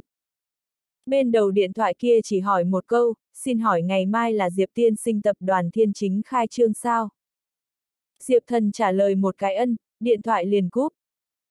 Diệp thần không có suy nghĩ nhiều, trực tiếp về đến khu nhà ở Đại Đô, cái này hai cái nhà đầu mau đưa nàng điện thoại đánh bể, có một số việc vẫn là trước mặt giải thích tương đối khá. Cửa mở ra, nàng liền phát hiện hạ nhược tuyết ngồi ở chỗ đó, ánh mắt có nhiều thú vị ngưng mắt nhìn hắn. Trở về. Ừ. Tập đoàn thiên chính thật là ngươi làm. Hạ nhược tuyết đứng lên, đi tới Diệp Thần trước mặt nhẹ giọng dò hỏi. Diệp Thần gật đầu một cái thừa nhận xuống. Hạ nhược tuyết khẽ cắn môi đỏ mỏng, do dự hồi lâu, mới nói, thật xin lỗi, ta là ta mẫu thân hành vi hướng người nói xin lỗi, ta không nghĩ tới nàng lại có thể dùng hạ ra tới uy hiếp tập đoàn thiên chính. Ta gọi mấy cú điện thoại cho nàng, nàng cũng không muốn buông tay, thật thật xin lỗi. Hạ nhược tuyết trong lòng vô cùng tự trách, ở biết hạ ra cắm vào lúc tiến vào, nàng trực tiếp ở trong điện thoại và hạ mẫu dùng beng. Hạ mẫu chỉ nói lên một cái yêu cầu, chỉ cần hạ nhược tuyết nguyện ý hồi hạ ra, nàng liền có thể lập tức rút lui hết hết thảy. Có một khắc như vậy, nàng thật muốn đáp ứng mẫu thân, nhưng là vừa nghĩ tới nàng chỉ phải trở về hạ ra, thì thật không thể nào đi ra. Nàng sợ, rút lui. Diệp thần nhìn hạ nhược tuyết tự trách dáng vẻ, nói đùa, chuyện này cũng không phải là ngươi làm, ngươi ấy náy cái gì. Nếu như ngươi thật ấy náy, không bằng hôn ta một chút, vậy coi là cho ta cái an ủi. Lời còn chưa nói hết, hạ nhược tuyết thân thể liền xông tới, hương thơm xông vào mũi, vậy hấp dẫn thủy nhuận môi đỏ mỏng trực tiếp hôn vào Diệp Thần gò má trên. Bây giờ, người hài lòng chưa? Thanh âm mềm mại mà hấp dẫn. Diệp Thần hoàn toàn không nghĩ tới, linh hoạt kỳ ảo lãnh ngạo hạ nhược tuyết sẽ hôn mình. Hắn mới vừa rồi chẳng qua là đùa giỡn, vì chậm tách ra bầu không khí mà thôi. Kết quả cái này nha đầu tưởng thật. Hắn sờ sờ mặt gò má, sau đó nhìn về phía gương mặt ửng đỏ cúi đầu hạ nhược tuyết, nói, nếu như ta nói, ta căn bản không đem mẫu thân ngươi coi ra gì, ngươi tin không? Hạ nhược tuyết lắc đầu một cái, cái này diệp thần tại sao quật cường như vậy? Đến nơi này cái đến nước, còn có cần phải như vậy phải không? Diệp thần, nếu không ngươi đem thời gian đẩy đẩy, không nhất định phải ngày mai khai trương, cùng chuyện này sóng gió đi qua, như nhau có thể. Diệp thần không để ý đến hạ nhược tuyết, trực tiếp trở về phòng. Phòng khách chỉ còn lại hạ nhược tuyết một người, nàng nhìn vậy phiến cửa phòng đóng chặt, thở dài một cái, Diệp thần, thật không rõ ngươi sức tới từ nơi nào. Và hạ ra chống lại, chỉ có một con đường chết. Buổi sáng ngày thứ hai 8 điểm. Tập đoàn thiên chính cửa trên giường thảm đỏ, trang sức vậy khá là vui mừng. Thẩm Hải Hoa đứng ở cửa, sắc mặt có chút không đúng lắm. Vòng ngoài đứng không ít người, nhưng là những người này căn bản không có đi vào cổ động dự định, hiển nhiên là đến xem trò vui. Hắn nhìn lên đồng hồ, phát hiện Diệp Thần còn không có tới, đây là muốn ồn ào như vậy. Công ty này nhưng mà hắn à, người đại diện trước luật pháp không đến, sẽ để cho hắn cái này người ngoài bận bịu trước bận bịu sau đó, cái này vậy thật là quá đáng đi. Nếu như không phải là bởi vì là Diệp Thần cứu hắn, lại đáp ứng hắn ba cái điều kiện, đánh chết hắn cũng sẽ không làm cái gì tập đoàn thiên chính. Nghĩ thì nghĩ, thẩm hải hoa vẫn là rất phụ trách, an bài mấy cái lễ tân người đẹp đường đi miệng phát truyền đơn, tận lực kéo xuống nhân khí. Nhưng là mười mấy phút, một tờ đơn không người thu. Tập đoàn thiên chính giống như bị cái thế giới này chê vậy. Không lâu lắm, rốt cuộc phát ra ngoài một tờ đơn. Là một cái ăn mặc Âu phục trung niên nam tử. Trung niên nam tử cầm truyền đơn, hướng thẩm hải hoa đi tới. Thẩm hải hoa tự nhiên chú ý tới trung niên nam tử, trên mặt lộ ra vẻ kích động, liền vội vàng cười đưa tay ra nói, hữu thành. Ha ha, ta cũng biết ngươi sẽ bán ta mặt mũi này. Trung niên nam tử kêu triệu hữu thành, tập đoàn Tân Thiên người sáng lập. Và thẩm hải hoa có 10 giao tình nhiều năm, năm 2008 nguy cơ tài chính thời điểm, là hai người hỗ trợ nhau mới sống sót, cho nên tình nghĩa rất sâu, ở thẩm hải hoa xem ra, đối phương không thể nghi ngờ là tới cổ động. Bót! Làm thẩm hải hoa tay sắp và triệu hữu thành cầm thời điểm ở chung với nhau, phát sinh ngoài ý muốn, triệu hữu thành trực tiếp cầm vậy tờ truyền đơn đẩy ra thẩm hải hoa tay. Rất là chê. Thẩm hải hoa bối rối, hữu thành, người đây là. Triệu hữu thành thở dài một cái, hải hoa, nhiều năm như vậy huynh đệ, ta khuyên ngươi thu thu tay lại, người tập đoàn cổ phiếu đã rất giá sàn, tại sao còn muốn giúp cái đó diệp ra phế vật. Tập đoàn thiên chính khối này phô mai, người loại này cấp bậc căn bản không có tư cách đụng.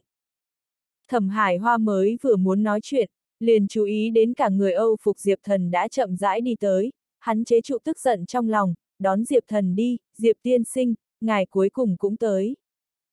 Diệp Thần vỗ vỗ thẩm hải hoa bả vai, cực khổ. Diệp tiên sinh, không khổ cực. Triệu Hữu Thành nghe được thẩm hải hoa đối với Diệp Thần gọi, nhướng mày một cái, thẩm hải hoa ngươi có phải hay không bị bệnh sinh ngu, đối với một tên phế vật như thế tôn kính. Thẩm hải hoa kềm nén không được nữa lửa giận, xoay người, chỉ Triệu Hữu Thành nói, Triệu Hữu Thành. Ngươi ngày hôm nay nếu như tới cổ động, ta thẩm hải hoa đánh trong đáy lòng cảm ơn ngươi. Nếu như ngươi là tới nói mát, cút, cút càng xa càng tốt. Thẩm hải hoa, ta tốt bụng tới khuyên ngươi, ngươi chỉ như vậy đối với ta nói chuyện. Tỉnh Chiết Giang Hạ Gia và Ninh Ba Tứ Đại gia tộc cũng đối với tập đoàn thiên chính đã xuống phong sát lệnh, ai dám vội tới các người cổ động. Ngươi loại thái độ này, không thể nghi ngờ là phá hủy ngươi.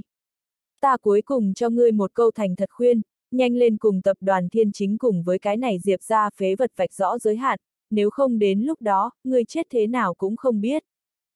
Triệu Hữu Thành sắc mặt đỏ lên, hắn chân thực không hiểu nổi cái này diệp ra phế vật cho cái này thẩm hải hoa đổ cái gì mê hồn thuốc. Thẩm hải hoa, còn có, ngươi nếu như lại u mê không hối, chúng ta năm nay hợp tác vậy ba cái hạng mục, toàn bộ giải trừ. Hành động này không thể nghi ngờ là bỏ đá xuống giếng. Tập đoàn Thiên Chính đã là cục hẳn phải chết, Thẩm Hải Hoa nếu như chen vào nữa đi xuống, tập đoàn Bắc Danh hẳn cũng phải chết. Thẩm Hải Hoa trực tiếp gọi tới bảo an, đối với Triệu Hữu Thành giận dữ hét, Triệu Hữu Thành, người mẹ hắn cho ta cút. Ta coi như là thấy rõ ngươi. Giải trừ liền giải trừ, lão tử không kém vậy mấy tỷ. Cút. Triệu Hữu Thành nhìn thấy bảo an tới đây, hừ lạnh một tiếng, áo não rời đi.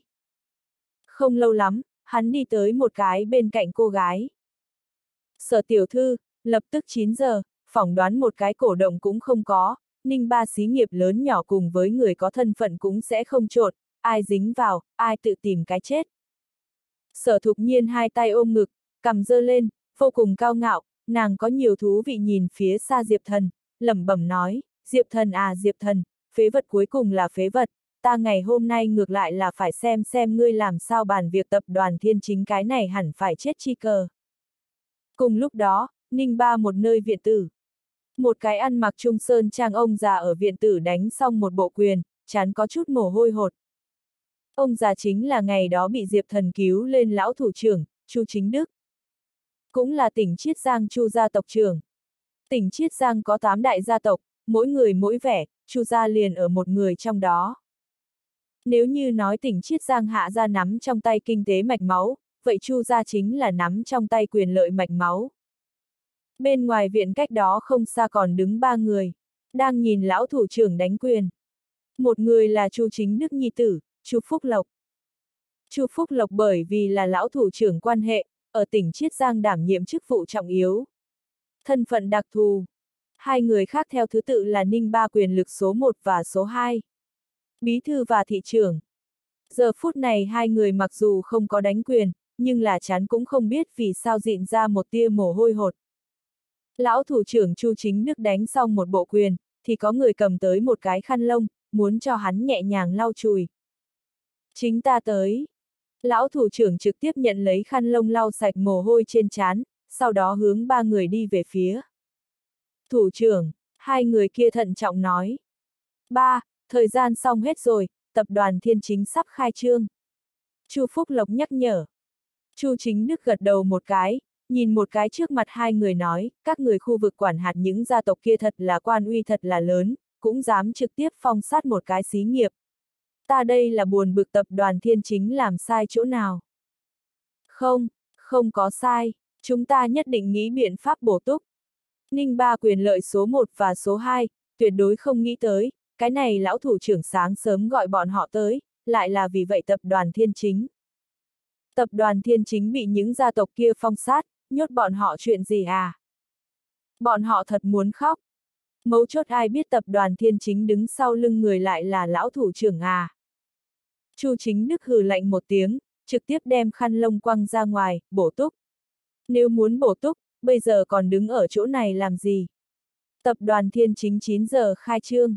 Ta hy vọng thấy các người biện pháp bổ túc. Hai người ngẩn ra, vội vàng hướng bên ngoài viện chạy đi, rất nhanh liền biến mất ở Chu Chính Đức trong tầm mắt. Ba, vậy Diệp Thần thật đáng chúng ta làm như vậy. Nếu như chúng ta đi giúp đỡ tập đoàn thiên chính, vậy ý nghĩa và hạ gia quan hệ liền tan vỡ. Chu Phúc Lộc nói. Chu Chính Đức con người híp lại, vậy trong mắt đục ngầu tựa như mang một tia ánh sáng. Phúc Lộc à, người ở tỉnh Chiết Giang vị trí không thấp, nhìn người bản lãnh làm sao liền không tiến bộ đâu, hôm đó ngươi ở bệnh viện và hắn so tài qua, hắn thực lực là võ đạo tông sư không sai đi. Ba, không sai. Chu Chính Đức tiếp tục nói, người chứng kiến hắn võ đạo thực lực, mà ta chứng kiến hắn quỷ thần khó lường y thuật, cái này so với tông sư còn còn đáng sợ hơn à. Một vị y võ song hưu tuyệt thế thiên tài, sau lưng tuyệt không đơn giản. Nếu như ngày hôm nay chúng ta không đứng đội, sau này muốn đứng đội liền không cái đó tư cách. Và hạ gia quyết liệt lại coi là cái gì, hắn hạ gia chẳng lẽ còn chuẩn bị đối phó ta chu gia. Từ xưa tới nay, thương nhân liền không chơi thắng người nắm quyền. Ngươi biết chưa? Ta hiểu ý. Để cho ngươi chuẩn bị giỏ hoa chuẩn bị xong chưa? Chuẩn bị xong, ở trên xe. Được, chúng ta hiện tại xuất phát. Đây có lẽ là thay đổi chúng ta chu ra cách cục trọng yếu nhất một ngày. Tập đoàn Thiên Chính, buổi sáng 9 giờ đúng. Diệp Thần và Thẩm Hải Hoa các người đứng ở cửa, vẫn không có một người tới. Bên ngoài đã có mấy nhà truyền thông chuẩn bị báo cáo. Tựa đề cũng nghĩ xong. Dùng từ lại là mang một tia làm nhục ý. Đứng ở phía ngoài Triệu Hữu Thành cười nhạt liền liền, đối với bên người sở thục nhiên nói, sở tiểu thư, chúng ta không tất phải ở chỗ này lãng phí thời gian, không người sẽ đến. Sở thục nhiên gật đầu một cái, ninh ba buổi sáng có chút lạnh ý, nàng đã sớm không muốn nán lại, không phải là muốn xem Diệp Thần bêu xấu. Bây giờ nhìn dáng dấp, không cần phải nhìn, buổi tối báo tất nhiên đều là ngày hôm nay tập đoàn thiên chính tai tiếng. Nàng vừa mới chuẩn bị xoay người rời đi, chỉ gặp xa xa hai bóng xinh đẹp xuất hiện. Hai người trong tay phân biệt cầm một cái giỏ hoa. Hạ Nhược Tuyết và Tôn Di. Các nàng làm sao tới? Cho tập đoàn thiên chính cổ động. Hai vị Mỹ nữ xuất hiện, ngay tức thì để cho không khí chung quanh có chút biến hóa. Hai người Mỹ nữ này đi ở thảm đỏ lên, không thể nghi ngờ chính là minh tinh vậy à. Khí chất này, cái này dung mạo, vóc người này, Ninh Ba không tìm ra cái thứ ba. Đám người truyền đến hò hét ầm ỉ thanh âm, những ký giả kia lại là điên cuồng bắt nhịp. Đây tuyệt đối là tin tức điểm nóng à. Hạ Nhược Tuyết và Tôn Di đem khai trương giỏ hoa đặt ở thiên chính đại lâu hai bên cửa, sau đó hướng về phía Diệp Thần nháy mắt mấy cái. Tiểu thần tử, có phải hay không rất cảm động, ta nhưng mà bất chấp bị khai trừ nguy hiểm tới giúp ngươi nha, nếu như ta đuổi, ngươi có thể phải nuôi ta. Tôn Di cười lúm đồng tiền như hoa. Bây giờ tập đoàn Hoa Mỹ bị hạ gia tiếp thu, nàng làm như vậy không thể nghi ngờ là chống đối hạ gia, chức vị tất nhiên khó giữ được. Diệp thần cười một tiếng, tiểu di tử, người đối với ta tốt như vậy, ta chỉ có thể lấy thân báo đáp, đi tập đoàn thiên chính vừa vặn thiếu người, tất cả vị trí tùy ngươi chọn. Tiền lương hàng năm là ngươi bây giờ 10 lần. Tôn Di liếc một cái Diệp thần, yên lặng đứng ở hắn bên người. Nàng biết Diệp thần bây giờ nhất định chĩa vào rất lớn áp lực. Chỉ bất quá nàng và hạ nhược tuyết cổ động thì có ý nghĩa gì chứ? Ai muốn ngươi lấy thân báo đáp, hừ tương đương tôn di nói. Hạ nhược tuyết cũng là nhìn về phía Diệp thần, ta đây là tò mò, ngươi trên mặt lại có thể không có vẻ bối rối, chẳng lẽ có đòn sát thủ gì? Diệp thần mới vừa muốn nói chuyện, trong đám người đột nhiên lại truyền tới một hồi hống nháo tiếng. Chỉ gặp một chiếc thêm dài may bách chậm rãi dừng lại. Hai vị khí tức cường đại hộ vệ trực tiếp xuống xe mở cửa xe. Một giây kế tiếp, một cái có chút lưng gù, ăn mặc âu phục nam tử đi xuống. Làm người đàn ông này xuất hiện, cả thế giới tựa như đều yên lặng. Yên tĩnh giống như chết. Bởi vì là người đàn ông này chính là câu lạc bộ ngự hào sau lưng người trưởng đà. Đại danh đỉnh đỉnh đà gia. Ninh ba người nào không biết người đàn ông này ngươi nếu như muốn thành là ninh ba cao cấp nhân vật, muốn nắm trong tay chân chính tài nguyên và mạng giao thiệp, thì nhất định phải thành là câu lạc bộ ngự hào hội viên. Thì nhất định phải đạt được người đàn ông này gật đầu. Vô số ninh ba gia tộc lớn, vô số ninh ba xí nghiệp gia, thấy người đàn ông này đều phải rất cung kính kêu một tiếng đà ra. Thậm chí tại chỗ rất nhiều đến xem trò vui con nhà giàu cũng quỷ liếm qua cái này lưng gù người đàn ông. Quỷ dị hơn chuyện xuất hiện, cái này nắm trong tay cao cấp tư nguyên nam trong tay người lại cầm một cái giỏ hoa. Lại còn đi lên thảm đỏ. Từng bước một hướng tập đoàn thiên chính đi. Trời ạ, à, cái này con mẹ nó rốt cuộc là cái quỷ gì à? Đà ra làm sao biết cho tập đoàn thiên chính tặng hoa. Tất cả mọi người lại xem tập đoàn thiên chính, trong mắt đều là chừng lớn tới cực điểm, sợ hãi trong hiện ra vẻ khiếp sợ, sợ hãi trung bình thêm ba điểm kinh ngạc. Ninh ba bốn đại gia tộc phong sát. Phong sát cái dám à. Người ngược lại là phong sát câu lạc bộ ngự hào thử một chút. Đà ra trên tay nắm trong tay tài nguyên đủ phong sát ninh ba một phần trăm xí nghiệp. Trừ ninh ba quyền lợi số 1 và số 2, ai dám xúc người đàn ông này rủi ro.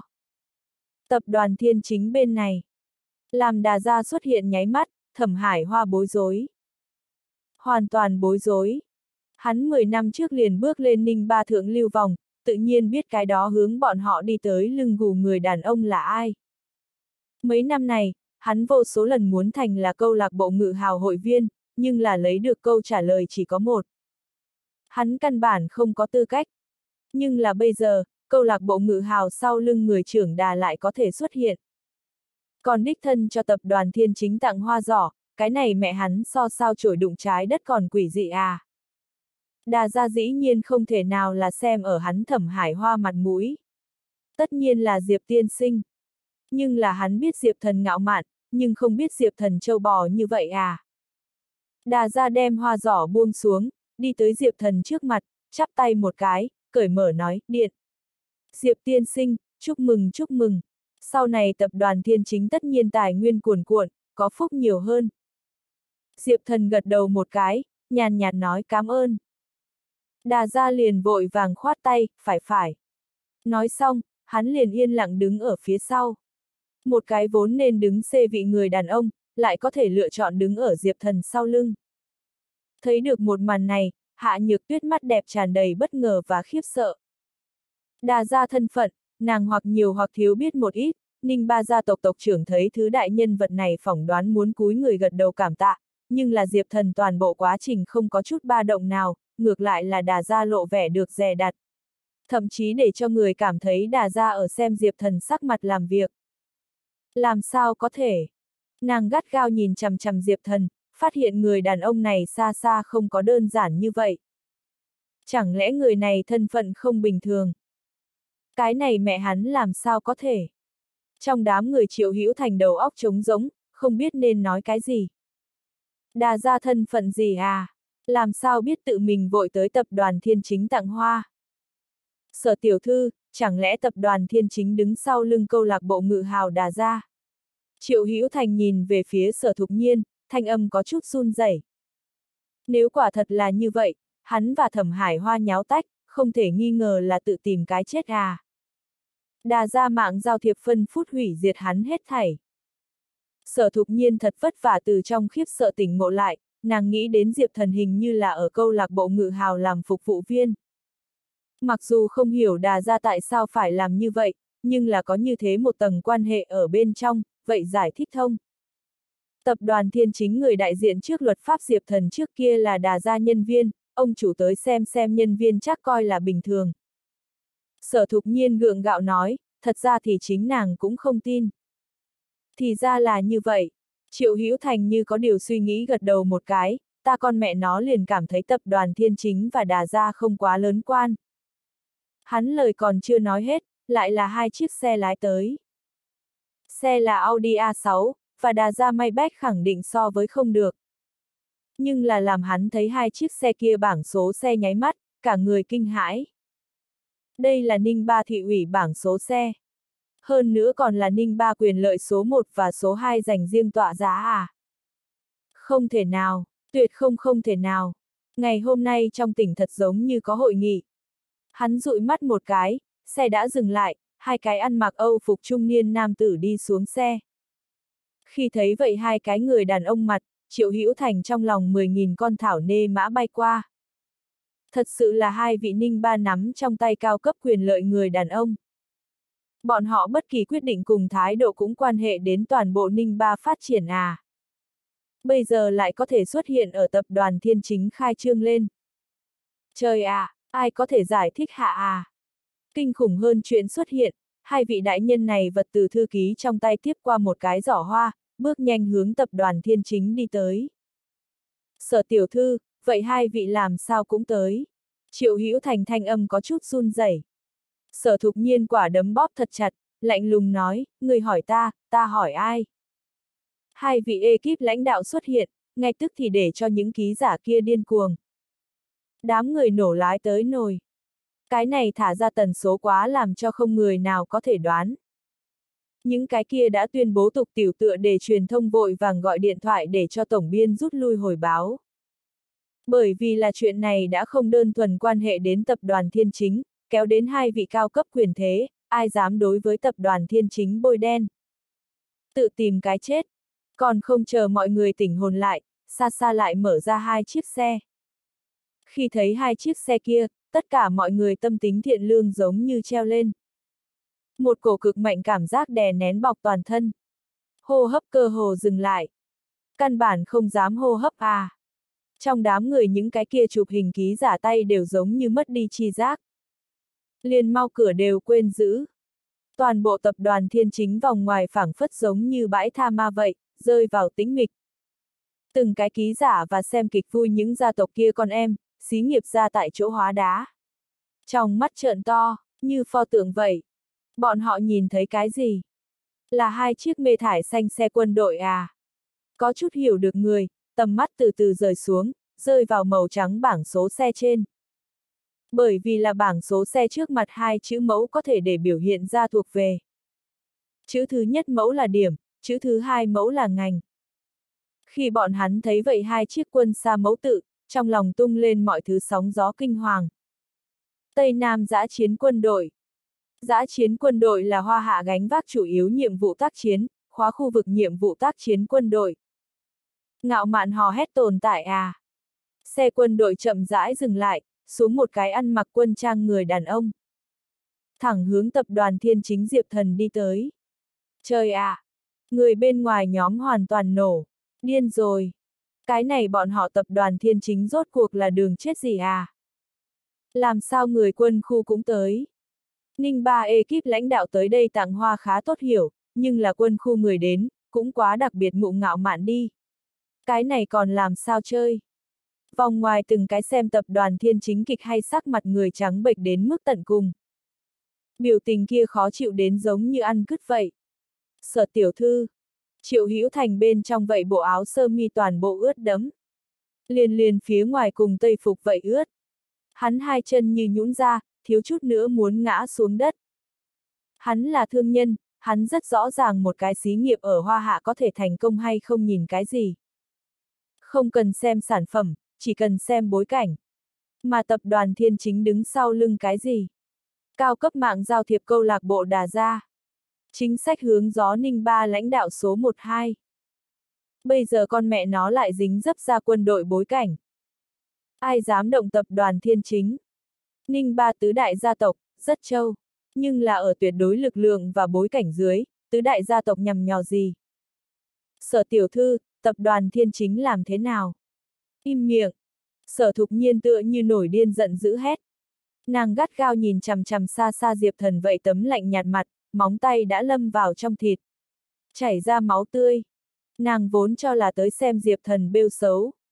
Nhưng là tuyệt đối không nghĩ tới bêu xấu nhưng là mình. Mấu chốt cái này 5 năm trước phế vật làm sao có thể để cho những đại nhân vật này tới cổ động. Hắn có cái gì tư cách? Hắn không có Diệp ra, hẳn chỉ biết càng trộn lẫn, nhưng là tại sao hiện hết thảy đang phát sinh đều ở đây hướng hướng ngược lại phát triển?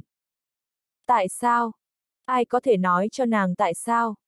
Sở tiểu thư, triệu hữu thành trong mắt gắt gao nhìn chằm chằm một nơi phương hướng, sợ hãi nói. Ta không phải để cho ngươi im miệng sao? Sở thục nhiên hoàn toàn nổi giận, nàng giống như một cái bà điên như nhau đem tất cả khí cũng giải đến triệu hữu thành trên mình.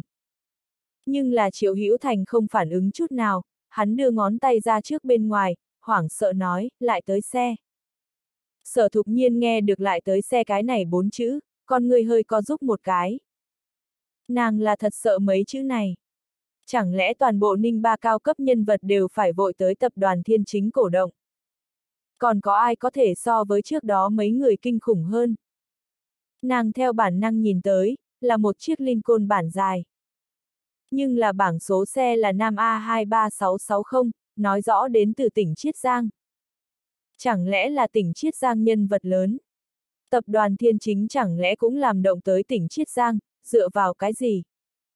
Nàng thân thể run rẩy.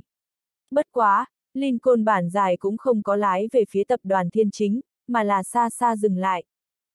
Tài xế đem cửa xe thận trọng mở ra, một người phụ nữ từ trên xe đi xuống.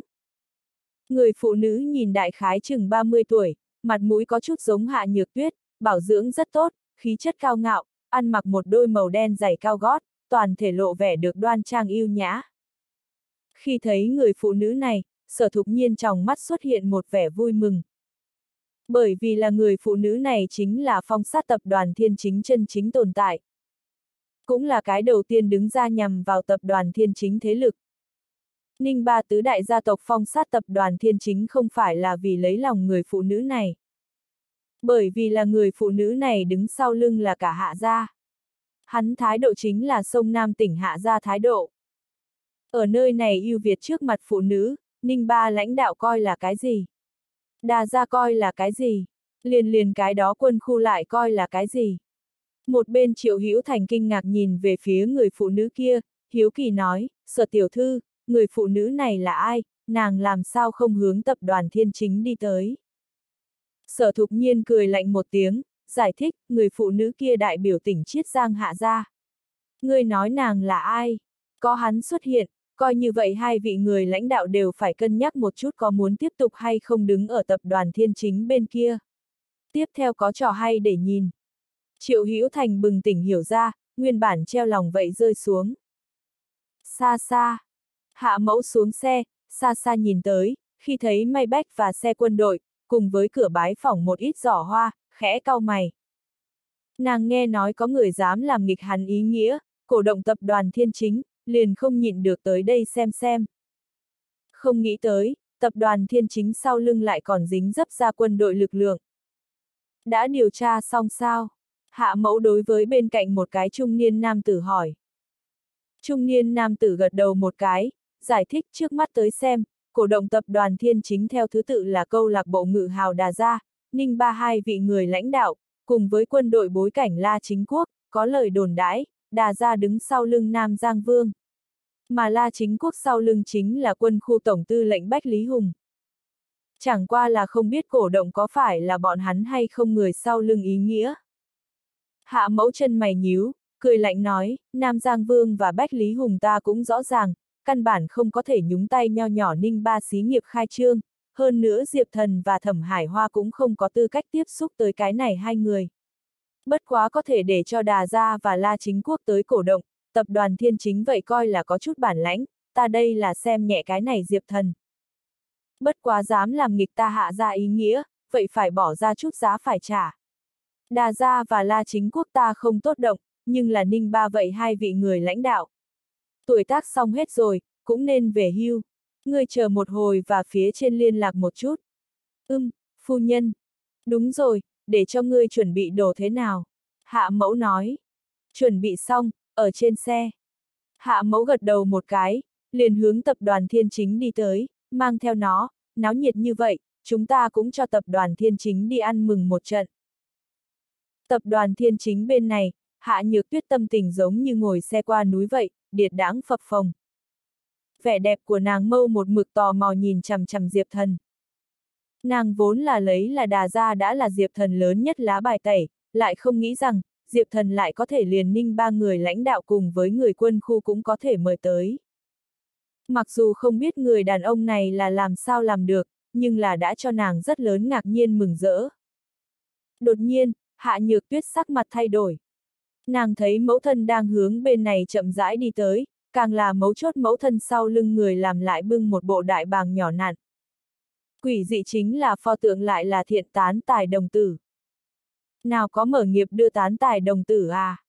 Cái này ở phương diện phong thủy có thể là đại kỵ à, biểu thị xí nghiệp không thể tụ tài, chỉ có thể tán tài. Nàng chọc tức toàn thân phát run. Mẫu thân tại sao có thể như vậy? Mấy người còn lại cũng chú ý tới, sắc mặt đều là rất là khó khăn xem, nhưng là bọn họ biết người phụ nữ này thân phận, không dám chút nào lỗ mãng. Diệp thần trong mắt hơi co lại, khóe môi nhếch lên lau một cái nghiền ngẫm nụ cười. Xem ra hạ nhược tuyết mẫu thân thật rất hận mình à, chẳng lẽ liền bởi vì là mình phá hư hạ gia thông gia. Không lâu lắm, hạ mẫu đã tới Diệp thần trước mặt, phân phó xuống người đem pho tượng thả ở cửa, sau đó đi tới Diệp thần trước mặt, giơ lên đầu, nhàn nhạt nói, giám đốc Diệp thật là còn trẻ có là, tuổi còn trẻ chế lớn như vậy nghiệp, ngày hôm nay không biết tại sao, đi mấy nhà tiệm bán hoa cũng không có giỏ hoa, dứt khoát liền đem ta thích nhất thiện tài đồng tử dứt bỏ cho Diệp tiên sinh, vậy hy vọng cái này đồng tử có thể để cho tập đoàn thiên chính tài nguyên cuồn cuộn. Mụ, người quá hèn hạ, hạ nhược tuyết thật không nhịn được, tức giận bất bình nói. Hạ mẫu hơi biến sắc mặt, nhìn một cái hạ nhược tuyết nói, người trong mắt có còn hay không hạ ra lại có thể đứng bên ngoài người bên kia, thậm chí làm nghịch hạ ra ý nghĩa.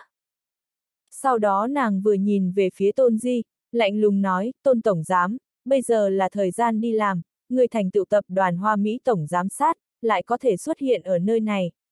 người biết ý vị như thế nào? Bắt đầu ngày mai, không cần đi tập đoàn Hoa Mỹ. Tôn Di sắc mặt tái nhợt, nàng sớm biết kết cục sẽ như vậy, nhưng là nàng không hối hận. Nàng thật giận. Nàng trừng mắt một cái hạ mẫu, từ túi quăng ra đóng kín một cái thư từ chức, nghiêm túc nói, từ chức liền từ chức. Ta không lạ gì ngươi hạ ra xí nghiệp. Hạ mẫu gặp một cái bé gái lại dám đối với nói như vậy, vừa định để cho người bên người động thủ, Diệp thần liền chắn tôn di trước mặt, thanh âm lạnh như băng vang lên, ngươi dám động nàng một chút thử một chút. Ta không ngại để cho ngươi hoàn toàn biến mất. Lời này vừa nói ra, hạ mẫu bị đẩy lui hết mấy bước, tim cũng là ùm ùm nhảy lợi hại. Sau lưng nàng vậy hai người cao thủ một cái cũng không dám động. Căn bản không phải cùng một cấp bậc à. Ngươi lại có thể. Hạ mẫu mới vừa muốn nói chuyện, đột nhiên, bên ngoài đám người truyền đến một hồi hống nháo thanh, hoàn toàn cắt đứt hắn suy nghĩ. Nàng quay đầu, liền thấy được một chiếc Bentley sang trọng xe thương vụ chậm rãi lái tới. Nàng cười lạnh một tiếng, Bentley xe thương vụ mà thôi, một đám không có kiến thức tên nhà quê. Nhưng là rất nhanh, hắn nụ cười cứng lên. Bởi vì là nàng thấy rõ bảng số xe. Nàng rốt cuộc rõ ràng tại sao phải sinh ra lớn như vậy động tính. Bảng số xe lại là Nam A88888. Hiệu xe này. Hạ mẫu khẽ nhếch miệng, trong mắt trợn to tới cực điểm. Dõi mắt tỉnh Chiết Giang, hiệu xe này đủ để gọi là cao cấp bảng số xe. Mấu chốt đây không phải là có tiền có thể có thể lấy được à. Cái này phải là tỉnh Chiết Giang cao cấp quyền thế à. Sau lưng thân phận phỏng đoán cũng có thể hù chết người. Nàng loáng thoáng nhớ được tỉnh Chiết Giang tránh phủ thật giống như đem hiệu xe này đưa cho một gia tộc. Còn như là gia tộc nào, nàng có chút không nhớ rõ, rất nhiều năm trước chuyện. Bentley xe thương vụ rốt cuộc dừng lại. Cửa xe mở ra, một cái to lớn trung niên nam tử đi xuống, cầm trong tay hai cái tinh xảo giỏ hoa. Khi thấy người đàn ông này, Diệp Thần bên cạnh hạ nhược tuyết nhất thời hoa dung thất sắc. Ngực cũng là hơi phập phồng. Người này nàng biết. Mấy năm trước một tràng yến hội, người này giận dữ, trực tiếp để cho tỉnh Chiết Giang chính đàn động đất. Bởi vì là hắn là Chu Phúc Lộc. Tỉnh Chiết Giang chính ủy Chu Phúc Lộc à. Hạ nhược tuyết con người nhìn về phía Diệp Thần, phát hiện Diệp Thần từ đầu tới cuối một chút diễn cảm cũng không có. Hoàn toàn giống như một cái không có chuyện gì người. Tên này lại không thể cho điểm phản ứng sao. Nói thế nào đi nữa, cũng phải cấp Chu Phúc Lộc chút mặt mũi à. Liền sau lưng hắn đà ra sợ ánh mắt cũng sắp chừng ra ngoài. Hạ nhược tuyết cũng không nhịn được nữa, đưa ra tay thanh tú ở Diệp Thần giữa eo đâm đâm. Người tại sao biết Chu Phúc Lộc? Diệp Thần nhún vai một cái, nhàn nhạt nói, nguyên lai like cái này bạo nóng này kêu Chu Phúc Lộc, lần trước thiếu chút nữa đánh. Hạ nhược tuyết ngẩn ra, xem Diệp Thần dáng vẻ giống như xem kẻ ngu vậy. Chu Phúc Lộc là bạo nóng này không sai. Nhưng là tên này lại vẫn và Chu Phúc Lộc thiếu chút nữa đánh. Đùa gì thế? Toàn bộ tỉnh Chiết Giang ai dám và Chu Phúc Lộc động thủ. Tìm không chết được. Thật ra thì Diệp Thần trong lòng ban đầu cũng là có chút bất ngờ, dẫu sao ban đầu ở bệnh viện và cái này Chu Phúc Lộc nổi lên mâu thuẫn. Đối phương bạo nóng này hắn liền hiểu rõ qua. Nhưng là hắn làm sao ngày hôm nay liền chuyển tính vậy đưa cho hắn đưa khai trương giỏ hoa. Chẳng lẽ là ba hắn ý nghĩa? Diệp thần vừa liếc nhìn hạ mẫu cơ hồ hóa đá nụ cười, cũng biết cái này chú Phúc Lộc thân phận tuyệt đối không bình thường. Tập đoàn thiên chính cửa. Chu Phúc Lộc mới vừa định đem trong tay giỏ hoa đặt ở hai bên, liền chú ý tới vậy hạ mẫu đưa ra vậy đối với thiện tài đồng tử. Hắn sắc mặt đột nhiên có chút không đúng. Khai trương đưa đồ chơi này, cái này mẹ hắn là tới gây chuyện đi. Rất nhanh, hắn liền liếc tới bên cạnh một người trung niên nam tử, đối phương ánh mắt có chút bối rối, hiển nhiên và hắn có liên quan. Hắn đem hoa giỏ đặt ở một bên, thẳng hướng trung niên nam tử đi tới. Vật này, là ngươi đưa. Trung niên kia nam tử nào dám nói chuyện à? cúi đầu, trực tiếp giả dạng làm không nghe được. Điếc!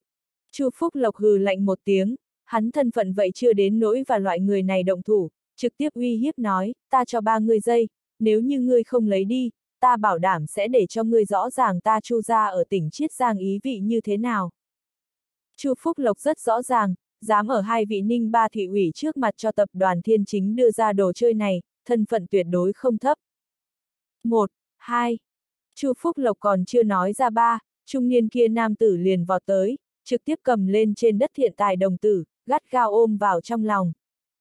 Hắn rất rõ ràng, hắn chỉ là hạ gia người làm, nếu như Chu gia phải đối phó hắn, hạ gia tất nhiên sẽ không chút do dự vứt bỏ hắn. Hắn chỉ có thể dựa vào mình. Phu nhân, làm xong hết thảy các thứ này, trung niên nam tử nhìn về phía hạ mẫu, nhờ giúp đỡ nói. Bỏ đồ xuống, ta hạ ra đưa ra đồ, há có thể lấy lại. Hạ mẫu cũng là từ trong khiếp sợ tỉnh hồn lại, thanh âm lạnh như băng lại là vang lên. Mặc dù nàng không biết tại sao Chu Phúc Lộc sẽ xuất hiện ở nơi này, nhưng là dưới mắt, đã không liên quan hạ gia và tập đoàn thiên chính ân oán. Mà là tỉnh Chiết Giang hạ gia và Chu gia ân oán. Chu Phúc Lộc tầm mắt lúc này mới chú ý tới hạ mẫu, cười một tiếng ơ, đây không phải là hạ phu nhân sao? Gió nào thổi ngươi tới? Ai nha, nhìn ta cái này đầu óc, ngày hôm qua hình như là hạ ra cái đầu tiên đứng ra phong sát tập đoàn thiên chính đi. Hạ mẫu sắc mặt có chút không đúng, lạnh lùng nói, Chu Phúc Lộc, người tại sao phải thang nước đục này? Đây là ta cùng tập đoàn thiên chính ân oán, người nhất định phải ra tay. Hạ gia và Chu gia nhiều năm như vậy thiết lập giao tình có thể sẽ bị người phá hủy, người biết hậu quả là cái gì không? Còn nữa, người khác kiêng kỵ người Chu Phúc Lộc, ta hạ gia cũng không sợ hãi. Chu Phúc Lộc nhìn một cái Diệp Thần, lại hướng hạ mẫu nói, hạ gia giàu gì vậy coi là tỉnh chiết giang gia tộc lớn đi, tới một cái địa phương nhỏ như vậy làm khó người khác, thật là buồn cười. Tỉnh chiết giang đại gia tộc mặt đều bị người phụ nhân này mất hết. Nghe được câu này, hạ mẫu cả người nổi giận. Nàng trước kia liền nghe nói qua Chu Phúc Lộc người này cuồng, không nghĩ tới khủng như vậy. Chu Phúc Lộc, người tốt nhất làm rõ ràng chuyện nghiêm trọng. Bây giờ Chu gia vị trí tộc trưởng ngồi cũng không phải là ngươi. Ngươi không có quyền đại biểu Chu gia, mà ta lần này tới Ninh Ba, làm mỗi một cái quyết định, cũng là hạ gia bây giờ tộc trưởng, cũng chính là chồng ta tự mình cho phép. Hạ mẫu thanh âm hoàn toàn lạnh như băng, càng đối với xa xa trung niên chàng trai nói, bỏ đồ xuống. Ngươi là người của hạ gia, đến lượt nghe ta, người khác không tư cách uy hiếp ngươi. Nhớ, phát sinh hết thảy đều có hạ gia chịu trách nhiệm. Trung niên nam tử thật muốn sụp đổ, phu nhân nói đến chỗ này đến nước, hắn cũng chỉ có thể tạo làm. Hắn mới vừa dự định buông xuống thiện tài đồng tử, một đạo khí lực đầy đủ thanh âm từ đàng xa truyền tới. Phúc Lộc không có quyền lợi đại biểu chu gia, vậy ta thì sao? Hạ mẫu nghe được cái này thanh âm, thân thể run lên, con ngươi lại là tràn đầy vẻ bối rối. Không thể nào, thật giống như có một giọng nói ở nàng trong lòng gầm thét. Nàng cứng ngắc chuyển qua cổ, rất nhanh liền chú ý tới một cái ăn mặc trung sơn trang ông già đang từng bước một hướng đi tới bên này. Cơ hồ ngay tức thì, hắn sắc mặt tái nhợt đến trình độ cao nhất. Thình lình ông già, thật là giống như là búa nện, đem tim nàng đều phải đánh chia năm xẻ bảy. Chu Chính Đức, Chu gia tộc trưởng, đã từng ti kiêu kháng chiến người có công lớn. Làm sao sẽ xuất hiện ở chỗ này? Hơn nữa đối phương thái độ rất rõ ràng, chính là đại biểu Chu gia phải đứng ở tập đoàn thiên chính bên này. Tại sao? Ai có thể nói cho nàng tại sao? Chu gia tại sao tình nguyện và hạ gia quyết liệt, vậy phải đứng một cái bị diệt tộc chàng trai sau lưng. Chu lão, hạ mẫu chỉ có thể rất cung kính nói. Trừ phi chồng mình ở chỗ này, nếu không nàng căn bản không có tư cách đối với trước mắt ông già có bất kỳ bất kính. Nàng chẳng qua là một vị phụ nhân, ở chân chính thành lập chu gia cơ nghiệp chu chính đức trước mặt, nàng không có chút nào quyền phát biểu. chu chính đức đi qua hạ mẫu thời điểm, bước chân cố ý ngừng ngừng, đang thanh nói, diệp thần là ta tiểu hữu nếu như ngươi hạ gia muốn muốn làm khó hắn, hừ. Chu gia không ngại và các người hạ gia khai chiến, chỉ hy vọng sau lưng người hạ hoàng nghiệp có can đảm làm ra loại này quyết định. Uy hiếp, uy hiếp trắng trợn, bành. Hạ mẫu chỉ cảm thấy một cổ uy áp hướng mình sông ngang đánh thẳng tới. Đây là chu chính nước mấy chục năm ở chiến trường, chính đàn ngưng tụ uy áp. Há là nàng một vị phụ nhân có thể chịu đựng. Mặt nàng sắc ảm đạm đến trình độ cao nhất, nàng không có bất kỳ tư cách phản bác. Mấy giây sau đó, chúng ta đi, hồi biệt thự. Hạ mẫu thanh âm mệt mỏi vang lên. Nàng không cam lòng. Nhưng là thì có thể làm gì? Ninh ba thị ủy, đà gia, quân nhân nàng hạ gia đều không sợ. Duy chỉ có chu gia. Không phải vạn bất đắc dĩ, chồng nàng hạ hoàng nghiệp căn bản sẽ không để cho hạ gia mạo hiểm đắc tội. Hạ gia thực lực kinh tế mạnh hơn nữa cũng như vì sao. Chu chính đức mấy vị học sinh và thuộc hạ thậm chí tại kinh thành trung ương nhậm chức. Thương nhân đấu thế nào qua ở chính đàn sức ảnh hưởng to lớn chu gia. Chu chính đức phát động uy tới, nói không chừng có thể hủy diệt hạ gia hết thảy. Hạ mẫu còn không có rời đi mấy bước, liền nghe được Chu Chính Đức thanh âm vang lên lần nữa, Diệp tiên sinh. Nàng thiếu chút nữa lảo đảo một cái, té ngã trên đất. Mấu chốt Chu Chính Đức thanh âm lại nghe cung cung kính kính. Và mới vừa rồi nói với nàng lời thái độ hoàn toàn tương phản. Còn tôn xưng là Diệp tiên sinh. Hạ mẫu nội tâm tựa như mấy chục ngàn đạo sóng biển đánh vào, nàng quay đầu, sâu đậm nhìn một cái Diệp thần, không biết đang suy nghĩ gì. Cái này Diệp Thần rốt cuộc cái gì lai lịch? Tập đoàn thiên chính bên này. Diệp Thần tự nhiên nghe được Chu Chính Đức và Hạ Mẫu đối thoại. Đối với Chu gia đứng đội, hắn rõ ràng sau lưng đồ. Chỉ có thể nói cái này Chu Chính Đức ánh mắt cay độc, ở Hạ gia và hắn bây giờ, không chút do dự lựa chọn người sau. Cho dù như vậy, Diệp Thần vẫn là chắp tay một cái, nói cảm tạ, Diệp Thần ở chỗ này cảm ơn. Chu chính đức nghe được Diệp thần nói cảm ơn, liền vội vàng khoát tay, khá là kích động nói, Diệp tiên sinh, người đây là hại chết ta à, lần trước nếu như không phải là ngươi đem ta từ quỷ môn quan kéo trở lại, ta chu gia đã sớm khí số đã hết, nên cảm tạ người, là ta chu ra mới đúng. Nghe được cái này lần đối thoại, hạ nhược tuyết có chút bối rối. Cái này diệp thần đoạn này đã đến giờ để đang bận rộn gì? Tại sao lại đem chu chính đức cứu? Hắn lấy cái gì cứu? Mà tôn di thời gian đầu tiên liền nghĩ đến Diệp Thần thả ở nhà vậy mấy cái phủ khoa cờ thường. Kết hợp với gần đây phát sinh một ít chuyện, nàng đột nhiên cảm thấy Diệp Thần hình như là một vị thần y. Hơn nữa còn là không nhất thiết thần y. Đà ra vậy đục ngầu con ngươi cũng là lộ ra một tia nghiêm túc. Trước kia hắn không hiểu Nam Giang Vương tại sao rẻ đặt đối đãi cái này người thanh niên chừng 20 tuổi, lại là muốn quỳ xuống gọi đối phương là điện chủ.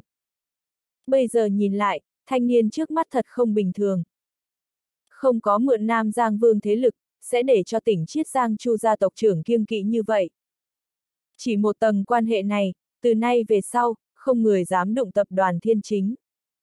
Còn như vậy hai cái ninh ba thị ủy số 1 và số 2 lại là trong mắt híp lại, gắt gao đem Diệp Thần dáng vẻ ghi xuống, thậm chí đầu óc bên trong lại tính toán như thế nào ở chính sách lên dựa vào hướng tập đoàn thiên chính.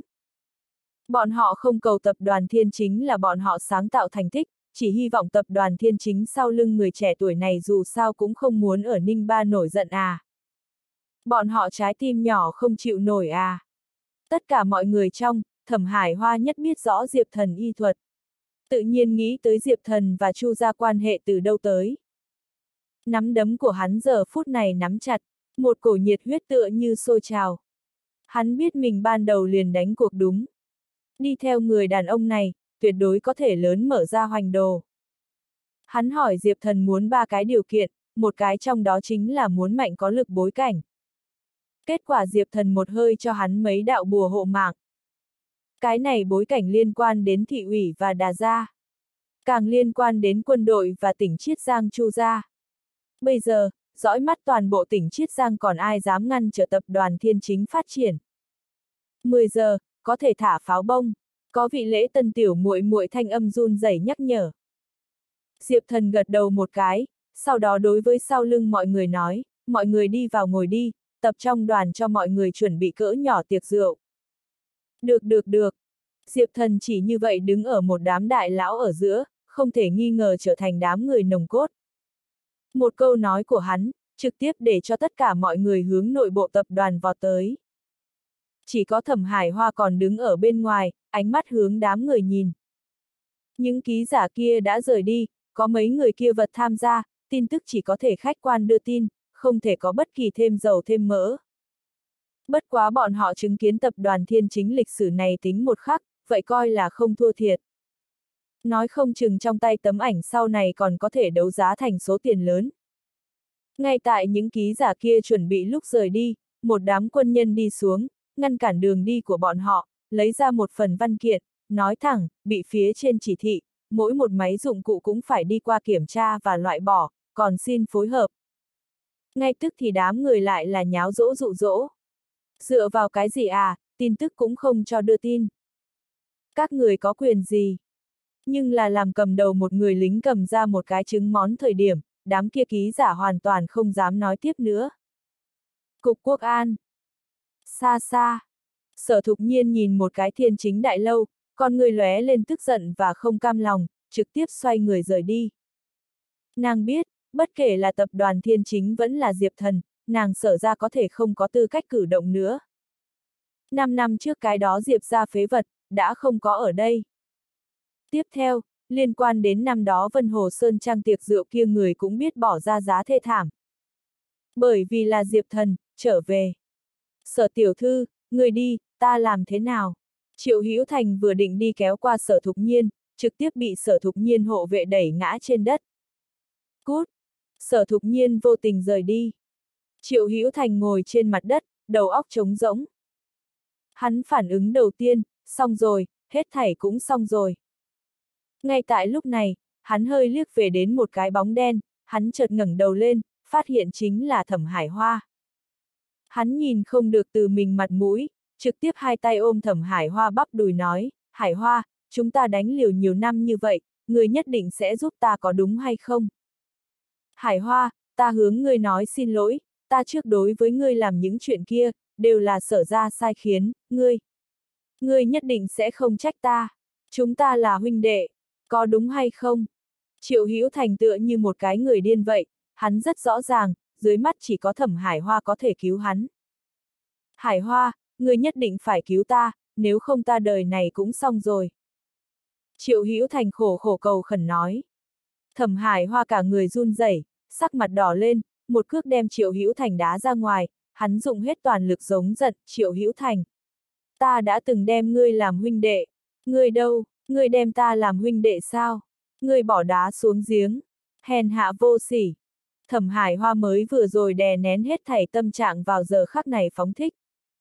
Nếu như không có Diệp Thần, hắn thẩm hải hoa hết thảy cũng sẽ ở ngày hôm nay hủy diệt. Mà dưới chân người đàn ông này tất nhiên sẽ vô tình làm nhục hắn. Đây chính là thực tế. Triệu Hữu Thành muốn nói cái gì, thẩm hải hoa căn bản không cho hắn cơ hội. Bắt đầu từ hôm nay, ta thẩm hải hoa và ngươi không có nửa điểm quan hệ, ngươi cho ta tự sanh tự diệt đi. Sẽ có người tới đối phó ngươi. Nói xong, thẩm hải hoa xoay người rời đi.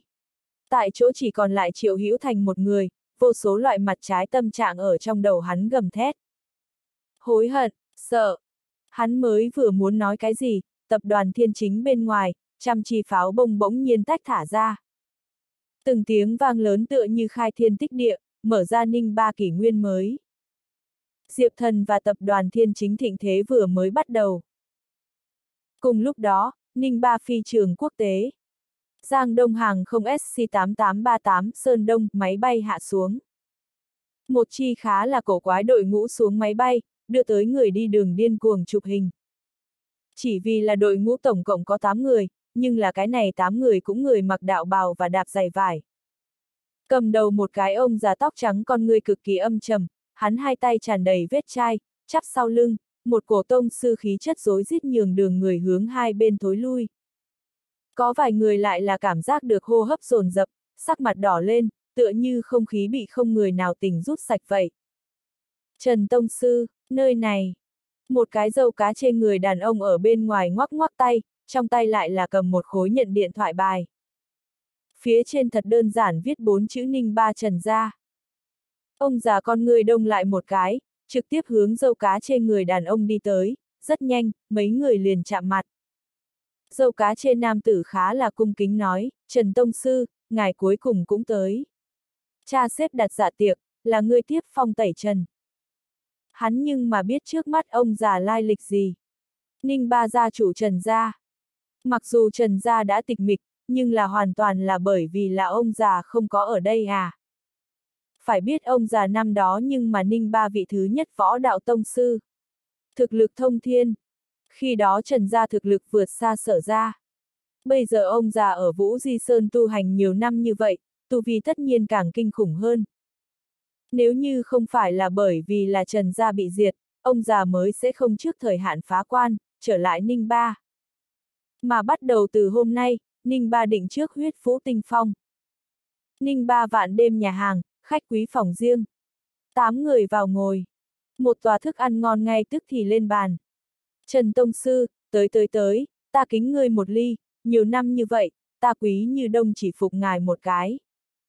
Một cái ăn mặc đường trang tóc muối tiêu người đàn ông cung kính nói. Hắn trong mắt nhìn lướt qua năm đó Tông Sư Trần Bảo Quốc, đối phương trong mắt ý định giết người để cho hắn có chút lòng rung động. Hắn rất rõ ràng, Trần Bảo Quốc nếu như không đi Vũ Di Sơn, Trần Gia đều có thể đã sớm nhảy ra Ninh Ba, bước lên tỉnh Chiết Giang. Cũng không biết Trần Bảo Quốc những năm này ở trên núi tu luyện, rốt cuộc cảnh giới gì. Phỏng đoán và tưởng ra tưởng nguyên lễ thực lực không phân cao thấp. Cho dù quý như đông mời rượu, Trần Bảo Quốc chút nào không bán mặt mũi, liền cầm ly dự định cũng không có, mà là trực tiếp nhìn chằm chằm quý như đông nói ta để cho ngươi chuyện điều tra tình thế nào. Giết ta Trần ra con cháu đến tột cùng là ai? Ta Trần ra giàu gì vậy coi là ninh ba gia tộc lớn, có ai lá gan lớn như vậy? Hắn thanh âm lạnh như băng, toàn bộ phòng riêng đều giống như che lấp một tầng tự ý. Quý Như Đông và dâu cá trên nam tử sắc mặt có chút tái nhợt. Bọn họ biết Trần Bảo Quốc là tông sư cảnh, lại không nghĩ rằng cảnh giới như vậy khủng bố. Hai người nhìn lướt qua ngoài ra bảy người, rất rõ ràng, mỗi một cái cũng là cao thủ. Xem ra Trần Bảo Quốc lần này đến có chuẩn bị. Quý Như Đông hít thở sâu một hơi, vội vàng lên tiếng nói, Trần Tông Sư, những ngày qua ta quý ra một mực đang điều tra sự kiện kia, thậm chí còn thông qua ninh ba lực lượng của cảnh sát đi thăm dò, nhưng là chẳng biết tại sao, tất cả liên quan tới chuyện ngày đó đều bị vô cớ phong tỏa. Rất hiển nhiên, giết người con cháu người bối cảnh rất mạnh. Bót, Trần Bảo Quốc một trưởng vỗ ở mặt bàn trên. Cơ hồ ngay tức thì, toàn bộ bàn đều nứt ra. Một miếng mâm cao lương mỹ vị rơi ở trên mặt đất, truyền tới đùng đùng thanh âm. Quý Như Đông, ta không muốn nghe nói nhảm, ta chỉ muốn biết hung thủ tên chữ. Trần Bảo Quốc lại là đứng dậy, hai tròng mắt như ưng, chỉ cần Quý Như Đông không cho hắn hài lòng câu trả lời, đối phương hẳn phải chết. Quý Như Đông sợ hai chân run rẩy. Hắn là cổ võ giả, ở Ninh Ba cũng là nhân vật có mặt mũi, nhưng là ở Trần Bảo Quốc trước mặt, chút nào không sanh được nửa điểm tâm trạng. Hắn vội vàng từ trong lòng ngực lấy ra một bản tấm ảnh, thận trọng đưa tới, Trần Tông Sư, mặc dù cảnh sát bên kia không tốt cha, nhưng là ta thông vượt qua hệ vẫn là điều tra ra Trần Phong các người trước khi chết kết giao một ít cửu địch, trong đó cái thằng nhóc này có lớn nhất hiểm nghi giết người, chỉ bất quá không có chứng cớ xác thực. Trần Bảo Quốc hai ngón tay động một cái, vậy tấm tấm ảnh trực tiếp thoát ly quý như đông tay, lại là ở ở trên tay hắn vạch ra một dấu máu, sau đó chính xác rơi xuống Trần Bảo Quốc trong tay. Chỉ một một chiêu này, trực tiếp ở quý như đông trong lòng tung lên sóng gió kinh hoàng. Trần Bảo Quốc lại có thể đạt tới cảnh giới này. Khủng bố như vậy. Trần Bảo Quốc nhìn lướt qua trên tay tấm ảnh, trong hình chính là Diệp Thần dáng vẻ.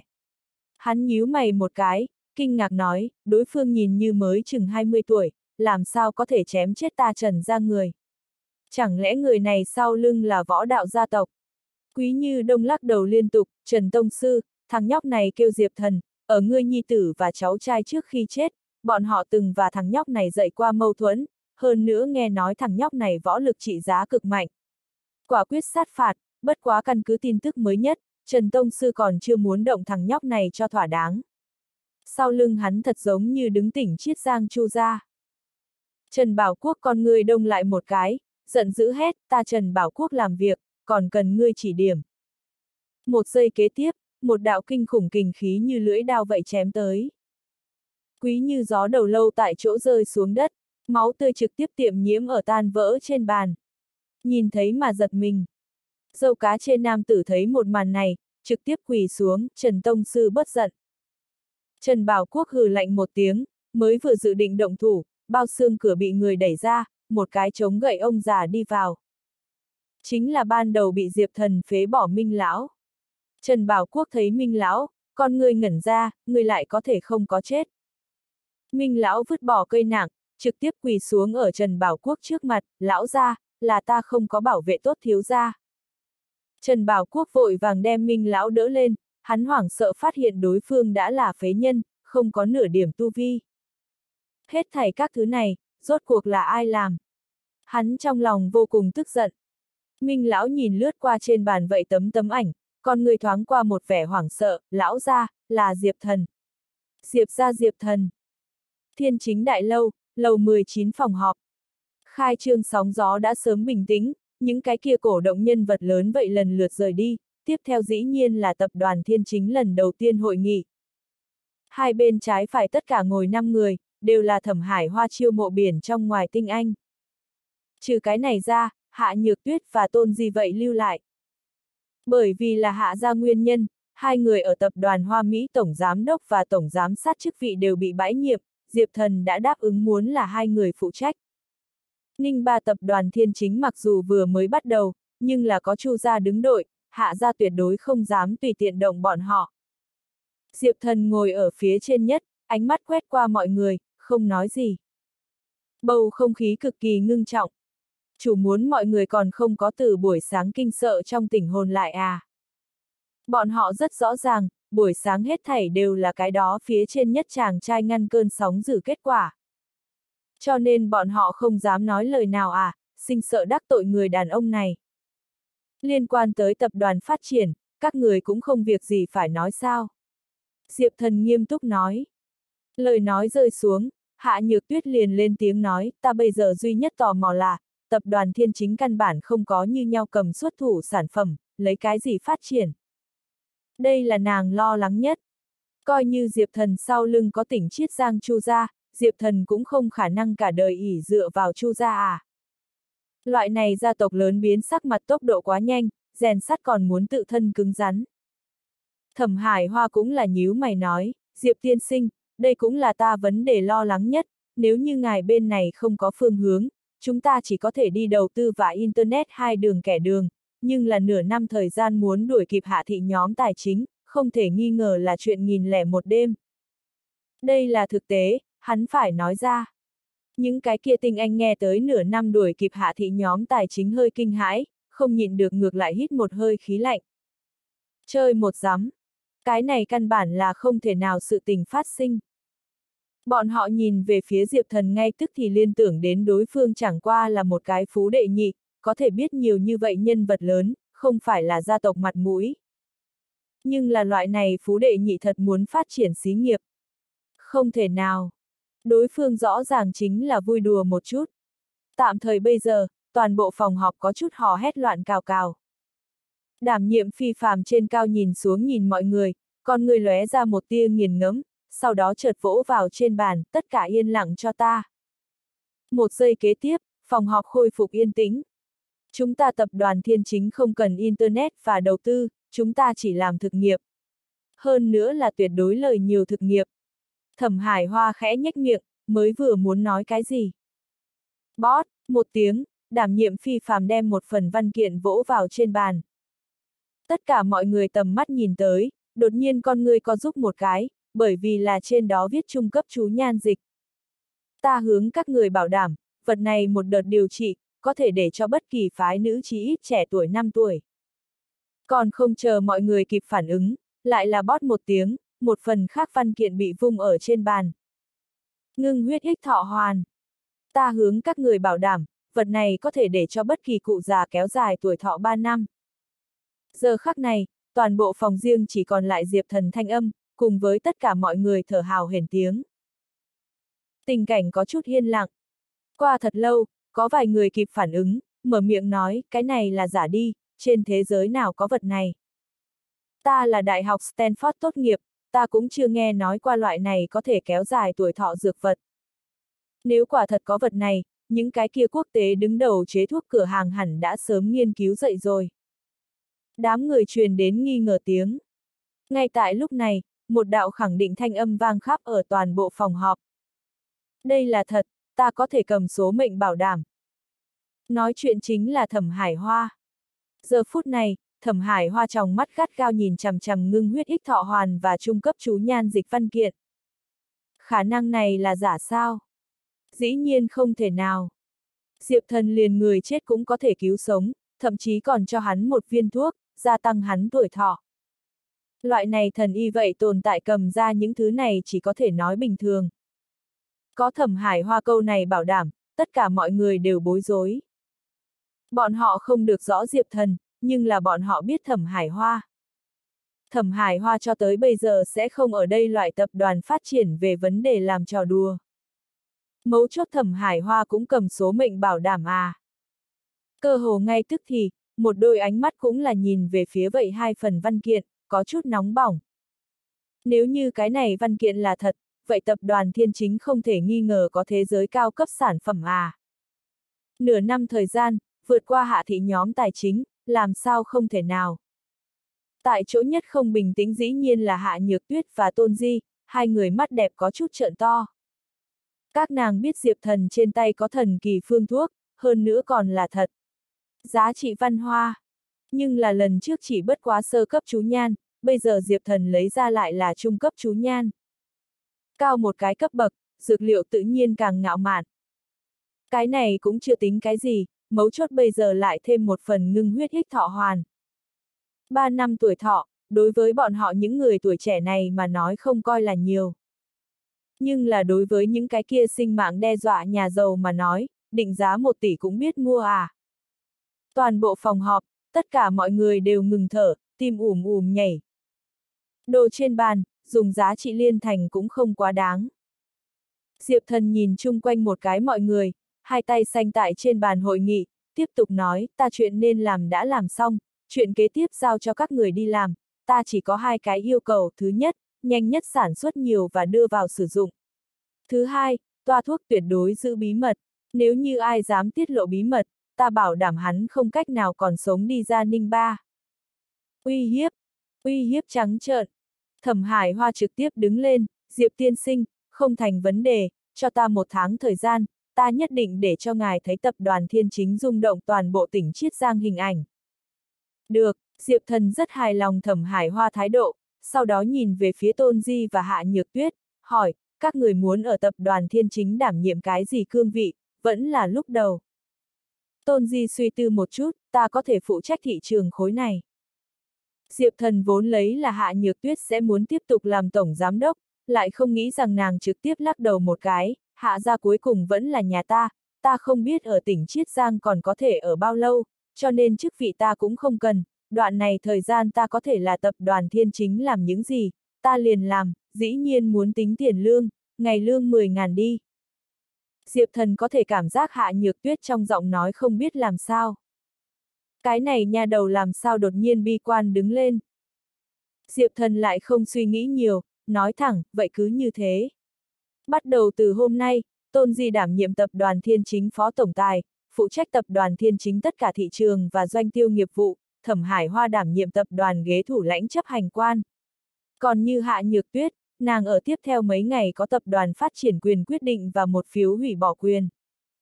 Nếu như mọi người không có ý kiến, tan họp. Buổi tối 10 giờ, khu nhà ở Đại Đô. Ba người bận rộn một đêm, trở lại nhà, Tôn Di trước hết đi rửa mặt. Phòng khách trên ban công, Hạ Nhược Tuyết và Diệp Thần chỉ như vậy đứng ở ngoài cửa sổ thổi phong. Diệp Thần quay đầu, lần đầu tiên khoảng cách gần như vậy nhìn Hạ Nhược Tuyết. Hạ Nhược Tuyết một đầu bộc bố trí vậy mái tóc dài vừa đến thắt lưng, bắp đùi thon dài ăn mặc một cái bạch lam giao tiếp váy, hiện ra vóc người hoàn mỹ tuyệt luân. Hơn nữ yêu kiều nắm chặt eo, vậy tròn vo, đường cong yêu mỹ hai mông, cao ngất đỉnh núi, chân thực đẹp không thể tả, làm người ta khen ngợi. Cái này nhà đầu hẳn là thượng đế hài lòng nhất tác phẩm đi. Chỉ bất quá, giờ phút này Diệp Thần có thể cảm giác đến hạ nhược tuyết tâm trạng tựa hồ có chút chập chờn. Diệp Thần, thật ra thì ta đối với người thật tò mò. Hạ nhược tuyết mở miệng nói, năm năm này, người rốt cuộc đi nơi nào? Người tại sao phải có lớn như vậy thay đổi? Căn cứ ta đối với người điều tra, người trước kia chẳng qua là một cái phế. Ngạch, phải nói là rất nhỏ bé tồn tại. Diệp thần không nói gì, yên lặng đốt một điếu thuốc, hút. Ngay tại lúc này, một cái trắng nõn tay thanh tú duỗi tới, lấy xuống Diệp Thần thuốc lá, nhẹ giọng nói, bớt hút đồ chơi này, đối với thân thể không tốt. Diệp Thần không biết nên buồn cười hay nên khóc, hắn thành tựu người tu luyện, nicotine làm sao có thể đối với hắn sinh ra ảnh hưởng đâu, chẳng qua là thói quen mà thôi. Hắn cũng không có gì nghiện thuốc lá, không hút cũng không rút ra. Hạ nhược tuyết cầm lấy ly rượu chát, uống một hớp, có chút men say, tự nhủ, Diệp thần, ta thật ra thì rất thích cái địa phương này, so ta hoàn cảnh sinh hoạt tốt quá nhiều, nhưng là ta có thể phải không được bao lâu sẽ phải rời khỏi, tỉnh chiết giang hạ ra, ta như thế nào đi nữa tránh, vẫn là phải trở về. Trở về sau này, có thể rất khó đi ra ngoài nữa, nhưng là ta nhất định sẽ thường xuyên ở trên ban công nhớ tới đoạn này thời gian. Người uống say, Diệp thần không hiểu hạ nhược tuyết tại sao như thế thương cảm, vừa định đoạt lấy ly rượu, lại không nghĩ rằng hạ nhược tuyết trực tiếp đem rượu chát toàn bộ uống xong, thậm chí lại đang sân thượng trên bàn rót một ly. Khóe mắt có chút nước mắt. Đại gia tộc con cái chính là như vậy, người ngoài hâm mộ chúng ta, mà chúng ta nhưng hâm mộ những người bình thường kia. Nếu như có một ngày có thể lựa chọn, ta hy vọng biến thành tôn di như vậy. Hạ nhược tuyết chỉ như vậy tự nhủ. Người thật uống say, đừng uống nữa. Diệp thần khuyên nhủ. Hạ nhược tuyết gương mặt đỏ đỏ, một giây kế tiếp, trực tiếp ôm lấy Diệp thần, vậy hấp dẫn môi đỏ mỏng thẳng tiếp hôn lên. Diệp thần hoàn toàn không có chuẩn bị, cái này băng sơn tổng giám đốc là muốn ồn ào dạng nào. Nhớ nhung trong lòng. Hắn không khống chế được nhẹ nhàng nuốt xuống một chút, động tác nhỏ xíu, nhưng giống như ở nhẹ duyện hắn đầu lưỡi. Hắn có thể cảm giác hạ nhược tuyết nặng nề hô hấp, cùng với linh hoạt đầu lưỡi ở đòi lấy trước cái gì. Hắn theo bản năng hai tay thu chặt, ôm lấy hạ nhược tuyết eo, chặt chặt dùng sức đè, đem nàng gần sát mình. Hạ nhược tuyết mở to hai mắt, bị Diệp thần hôn được hai đầu gối như nhũn ra, cảm giác tê dại giống như từng đợt sóng sóng biển, không ngừng, không ngừng sông lên phớt qua sống lưng. Hồi lâu, phòng tắm truyền đến một tia động tĩnh, hạ nhược tuyết vội vàng tránh thoát Diệp thần ôm trong ngực. Ánh mắt có chút hốt hoảng. Nàng cũng không biết mình tại sao phải làm như vậy. Đây coi như là nàng chân chính trên ý nghĩa nụ hôn đầu. Không nghĩ tới nhưng cho Diệp thần. Nàng sờ một cái mình gò má, phát hiện rất nóng, nỗ nàng lực khôi phục một tia chấn định, đối với Diệp thần nói, nụ hôn này, là cái ngoài ý muốn, người quên nó là được, ta có thể uống say. Nói xong, liền bước nhanh xoay người hướng gian phòng đi tới. Cửa phòng đóng lại nháy mắt, hạ nhược tuyết run rẩy thân thể mềm mại, ngồi trồm hổm xuống, gò má trôn ở trên bắp đùi. Nàng móc ra điện thoại di động, trên điện thoại di động chỉ có một cái. Nàng đem tin nhắn ngắn loại bỏ, yên lặng khóc. Diệp thần tự nhiên không biết hạ nhược tuyết trên mình sự tình phát sinh, hắn trực tiếp ở sân thượng quất một điếu thuốc, liền nghe được tôn di ở nơi đó thúc giục. Ta tắm xong, các người ai tắm? Tôn di mặc đồ ngủ, tóc có chút ướt nhẹp, bởi vì là không có mặc nịt vú, đi dậy đường tới vậy sóng lớn mãnh liệt cảm giác để cho Diệp thần chóp mũi có chút nóng như lửa. Nàng chẳng lẽ không biết mình ngực to sao, còn như thế tới. Loại này nóng như lửa vóc người ở trước mặt lay động, thật để cho người có chút khó mà cầm giữ. Tôn Di ở phòng khách vòng vo một vòng, phát hiện Hạ Nhược Tuyết ở gian phòng, liền ở bên ngoài hỏi một chút nàng muốn không muốn tắm. Hạ Nhược Tuyết thanh âm khàn khàn trả lời mình có chút không thoải mái, trễ giờ lại rửa, Tôn Di chỉ có thể xóa bỏ, nhìn về phía Diệp Thần, cười híp mắt nói tiểu thần tử, ngày hôm nay người rất may mắn là cái thứ hai đi, đi nhanh, nhớ được cho Nhược Tuyết chừa chút nước nóng.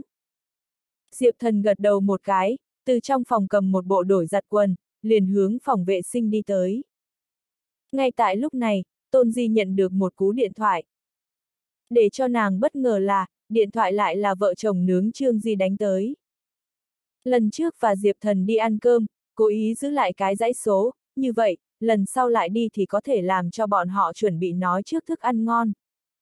Mấu chốt cái điểm này, Trương Di gọi cho nàng là làm gì? Alo, Trương Di nha. Một phút sau, bành, Diệp Thần mới vừa ở phòng tắm cởi sạch áo, liền phát hiện cửa bị Tôn Di chợt đẩy ra. Tôn Di, người đây là tính quấy giày. Diệp Thần nói đùa.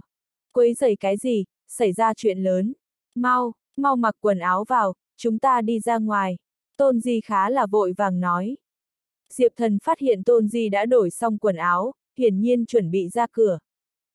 Thế nào, như thế vội vội vàng vàng. Diệp Thần một bên mặc lên quần áo, vừa nói. Đừng hỏi, trên xe lại theo người nói. Không lâu lắm, Tôn Di liền cản lại một chiếc xe taxi, trực tiếp đối với sư phụ nói, sư phụ, đi Giang Bắc Đại học. Càng nhanh càng tốt. Được rồi, sư phụ trực tiếp đạp cần ga, xe xông ra ngoài. Diệp thần nhìn một cái Tôn Di, nhíu mày nói, bây giờ có thể nói đi. Tôn Di sắc mặt có chút nặng nề, nhẹ giọng nói, người hẳn còn nhớ được Uông Vũ Hằng đi.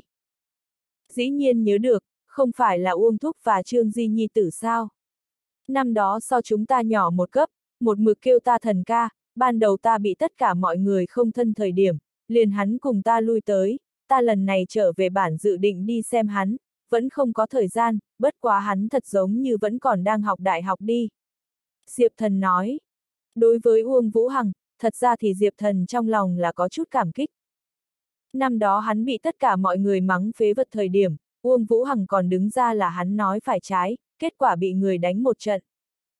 Thậm chí tên này sợ hắn không nghĩ ra, cố ý mỗi ngày kéo hắn đi nhà sạp thịt nướng ăn chùa uống chùa. Đây cũng là hắn và Trương Di Uông Thúc quen thuộc một trong những nguyên nhân. Nếu như nhắc tới chút năm, hắn ở Ninh Ba Bản, trừ Tôn Di, Uông Vũ Hằng coi là hẳn cái thứ hai. Thế nào, Uông Vũ Hằng ở Giang Bắc Đại học đọc sách. Tôn Di thật chặt nắm điện thoại di động, tựa như quyết định, mới nói, Uông Vũ Hằng, bị người đánh, gãy một cái tay. Nghe được câu này, Diệp Thần ngẩn ra, chợt một cổ lửa giận vô danh cháy ở trong lòng. Hắn rõ ràng Uông Vũ Hằng, trung thực, thông minh, đi lên, hắn tính cách, vậy không sẽ đắc tội người. Nhưng là dưới mắt, làm sao sẽ bị người đánh? Mấu chốt còn là gãy một cái tay. Ai mẹ hắn ra tay, tìm không chết được. Tôn Di tựa hồ đã sớm ngờ tới Diệp Thần sẽ nổi giận, liền vội vàng khuyên nhủ, sự việc còn không biết nguyên nhân, đợi sẽ đi, ngươi đừng xung động. Diệp Thần cưỡng ép chế trụ nội tâm tức giận, hắn nghĩ tới điều gì, nghiêm túc nói, gãy tay, không phải thứ nhất thời gian hẳn đi bệnh viện sao, làm sao đi trường học. Tôn Di cầm điện thoại di động mãnh đập một quyền không khí, đây là nàng nhất tức giận địa phương. Ta nghe Trương Di nói, Uông Vũ Hằng không chỉ tay bị người cắt đứt, đối phương còn không chịu để cho người mang đi hắn, xe cứu thương bên kia một chiếc cũng không có tới, trường học vậy phong tỏa, rất rõ ràng, đánh người có chút bối cảnh, đây cũng là Trương Di gọi điện thoại cho chúng ta nguyên nhân. Cái gì, Thảo? Diệp thần không nhịn được văng tục, bàn tay đè ở xe taxi trên cửa, lại xuất hiện một đạo cực kỳ sâu lõm xuống. Giang Bắc Đại học, Tôn Di và Diệp thần xuống xe, liền vội vội vàng vàng hướng đại học đi. Mặc dù bây giờ là buổi tối, nhưng là trong sân trường ánh đèn rất sáng, trọng yếu hơn chính là, bên trong truyền tới một hồi tiếp theo một trận tiếng thét chói tai. Giáo đứng ở cửa sáu bảy người an ninh, bày trận mà đợi. Khi bọn hắn thấy Diệp Thần và Tôn Di đi tới, vội vàng nói, trình hạ thẻ học sinh. Tôn Di cười một tiếng, đối với bảo an đại thúc nói, thúc thúc, thẻ học sinh không có mang nha, ngươi liền châm trước một chút rồi, chờ một hồi thì phải quan cửa túc xá, muốn trừ học phân. Ngươi xem hai chúng ta dáng vẻ rõ ràng cho thấy học sinh nha. Nếu như đổi thành bình thường, an ninh trường học tất nhiên sẽ châm trước, nhưng là ngày hôm nay trong trường học xảy ra việc lớn, lãnh đạo trường ra lệnh không cho phép bất kỳ người ngoài đi vào, bọn họ cũng không dám xem thường. Không được, không có thẻ học sinh, không thể đi vào, gọi điện thoại để cho các người phụ đạo viên ra để chứng minh. Tôn Di lần này nói không ra lời, bọn họ căn bản không phải giang bắc học sinh, nào có phụ đạo viên điện thoại. Đi, và bọn họ nói nhảm cái gì? Diệp thần thanh âm lạnh lùng truyền tới. Hắn trực tiếp không cố kỵ chút nào hướng bên trong đi tới. Đứng lại. Mấy người an ninh vừa định ngăn lại Diệp thần, Diệp thần bước chân đạp một cái, hai bên ngay tức thì tạo thành một cổ vô hình đợt khí, những an ninh kia giống như bị thứ gì đụng vào vậy, lùi lại năm sáu bước, thiếu chút nữa ngã xuống đất. Thằng nhóc ngươi! Các nhân viên an ninh kịp phản ứng, rối rít rút ra bên hông cây gậy mới vừa dự định đi ngăn lại Diệp Thần, một giây kế tiếp, bọn họ từng cái bước chân dừng lại. Cả người lại là như hóa đá vậy. Bọn họ con người phóng đại, giống như gặp quỷ. Chỉ gặp Diệp Thần đi thẳng tới hai phiến cửa sắt ở giữa, hai tay đặt ở cửa sắt trên. Lực lượng bùng nổ, cửa sắt cốt sắt ngay tức thì vặn vẹo. Cái này mẹ hắn nhưng mà thiết à. Không chỉ như vậy, vậy hai cánh cửa còn gắng gượng bị Diệp Thần kéo kéo xuống. Đây chính là hai phiến cửa sắt à. Lại trực tiếp bị vặn vẹo thành một đoàn thiết điều. Diệp Thần không có chút nào dừng lại, chợt một phung. Suy, một tiếng, tựa như hoa phá trường không, cắm vào mấy người an ninh trước mặt, sâu đậm rơi vào mặt đất. Chặn lại an ninh đường đi. Có mấy cái đến gần bảo an lại là sợ đặt mông ngồi trên mặt đất. Cái này mẹ hắn vẫn là người sao? Tất cả mọi người ánh mắt gắt gao nhìn chằm chằm Diệp Thần. Sợ hãi, sợ, rất sợ đối phương xông lên bọn họ động thủ. Còn muốn ngăn cản ta sao?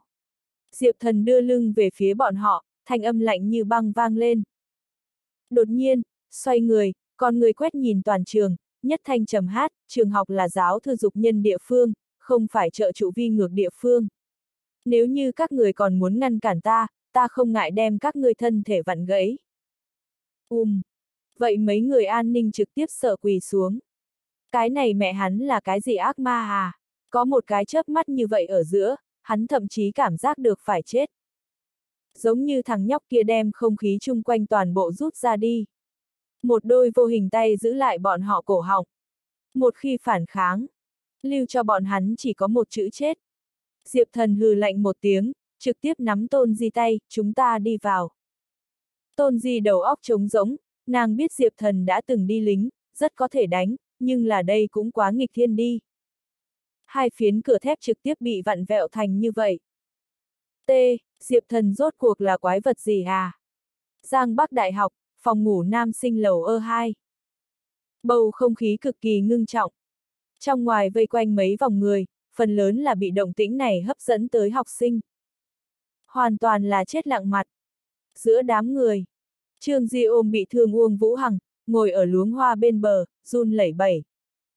Nàng đau lòng à. Uông Vũ Hằng vẫn là hắn kiêu ngạo, từ nhỏ đến lớn thành tích học tập tốt, lại hiểu chuyện, thật vất vả thi đậu ninh ba tốt nhất đại học, kết quả tại đại học bên trong lại có thể bị người đánh gãy một cái tay. Mấu chốt đám này xúc sinh quyền thế ngút trời, lại còn và trường học cấu kết, thậm chí liền xe cứu thương kêu cũng vô ích. Tin tức toàn bộ phong tỏa. Đây là tạo cái gì nghiệt à? Uông Thúc trong tay cầm một cây côn, chỉ như vậy ngăn ở Uông Vũ Hằng và vợ trước mặt, dùng quật cường thân thể che chở mẹ con. Mà trước mặt hắn thì đứng hết mấy người.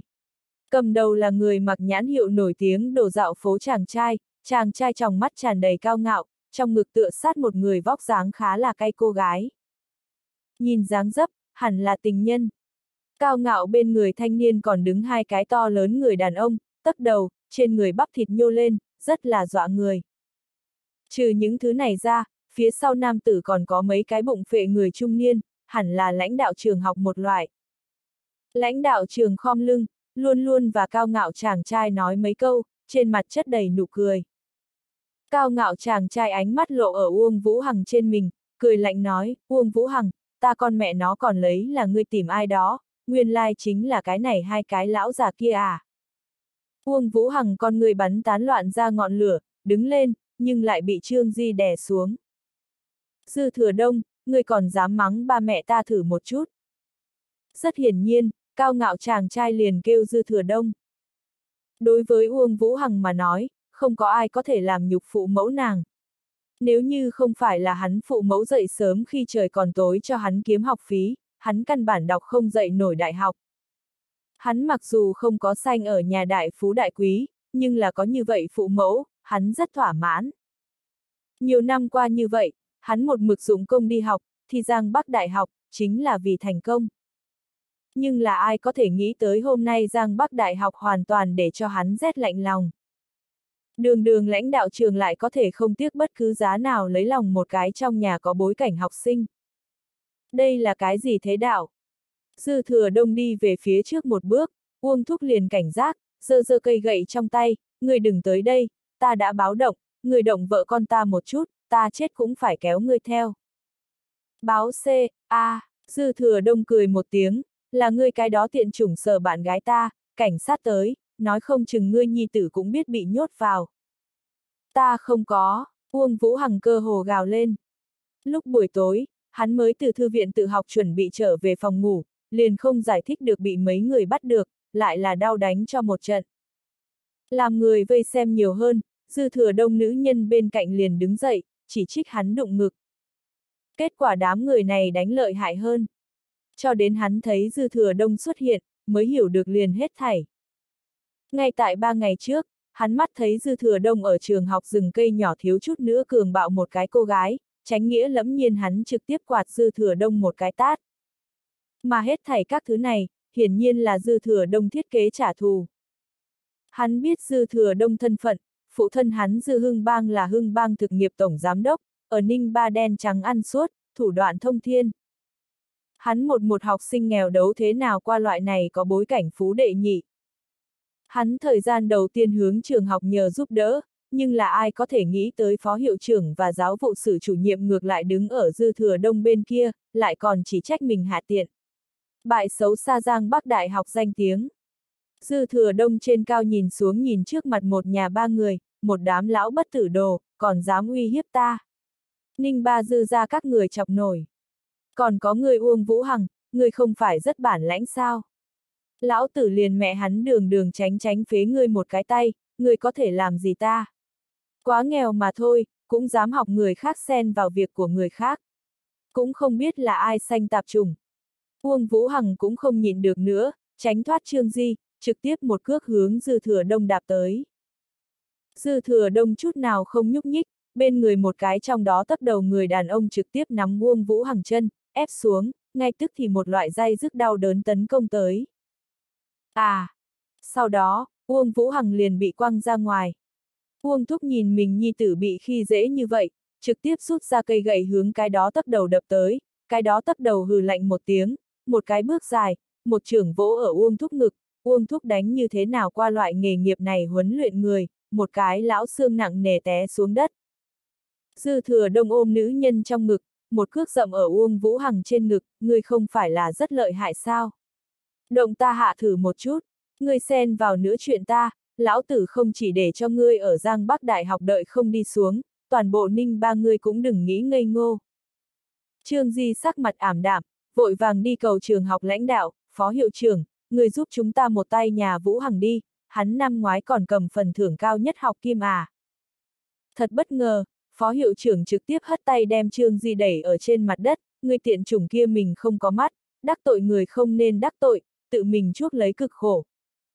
Nói xong, bộ kia hiệu trưởng lại là đi tới dư thừa đông trước mặt, đổi phó biểu tình, cung kính nói, dư thiếu, tiếp theo xử lý như thế nào? Muốn không muốn đem thằng nhóc này nhốt vào mấy ngày, ta có cái thân thích ở Ninh Ba đồn công an bên kia. Dư thừa đông không để ý tới để ý đối phương, mà là trên cao nhìn xuống nhìn Uông Vũ Hằng, đột nhiên nghĩ đến cái gì, ồ, ta thật giống như nhớ lầm cái gì, người sở bạn gái ta chính là tay phải đi. Ta mới vừa rồi phế là hình như là ngươi tay trái. Uông Vũ Hằng trong mắt tràn đầy lửa giận, vừa định bò dậy, lại bị vậy hai cái tấp đầu đè xuống. Dư thừa đông, người chết không được tử tế, luôn có người sẽ trị ngươi. Dư thừa đông vui vẻ cười to, thiên vương lão tử tới vậy không trị được ta dư thừa đông.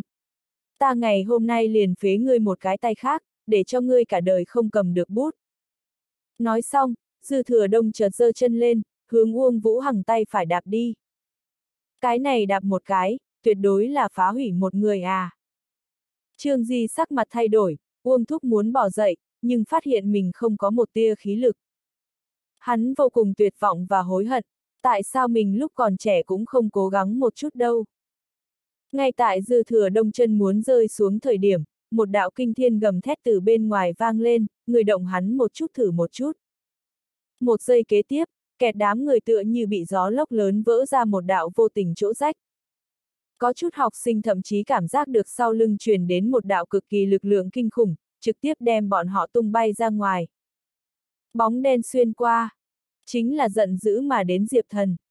Diệp Thần mắt xem xúc sinh kia muốn đạp, trong tay ngưng tụ ra một đạo chân khí đợt khí, trực tiếp đuổi ra ngoài.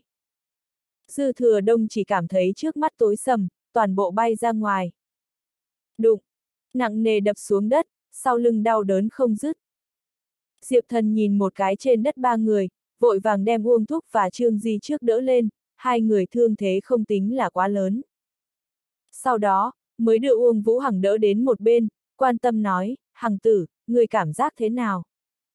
Uông Vũ Hằng gắt gao nhìn chằm chằm Diệp Thần, đột nhiên phát hiện cái gì, la hoảng lên, ngươi là thần ca. Ngươi, ngươi tại sao trở lại? Diệp Thần gật đầu một cái, nhưng là làm hắn tầm mắt chú ý tới Uông Vũ Hằng khác một cái tay gãy và trên người sưng mặt sưng mũi, trên mình nhất thời cuốn lên một hồi huyết sát. Nếu như không phải là mình kịp thời chạy tới, hậu quả thiết tưởng không chịu nổi. Một khi hai tay bị phế, hắn Uông Vũ Hằng trước mười mấy năm cố gắng đều uống phí. Hắn đã từng trải qua Uông Vũ Hằng loại này tuyệt vọng, hắn so người bất kỳ đều biết Uông Vũ Hằng giờ phút này trong lòng thống khổ.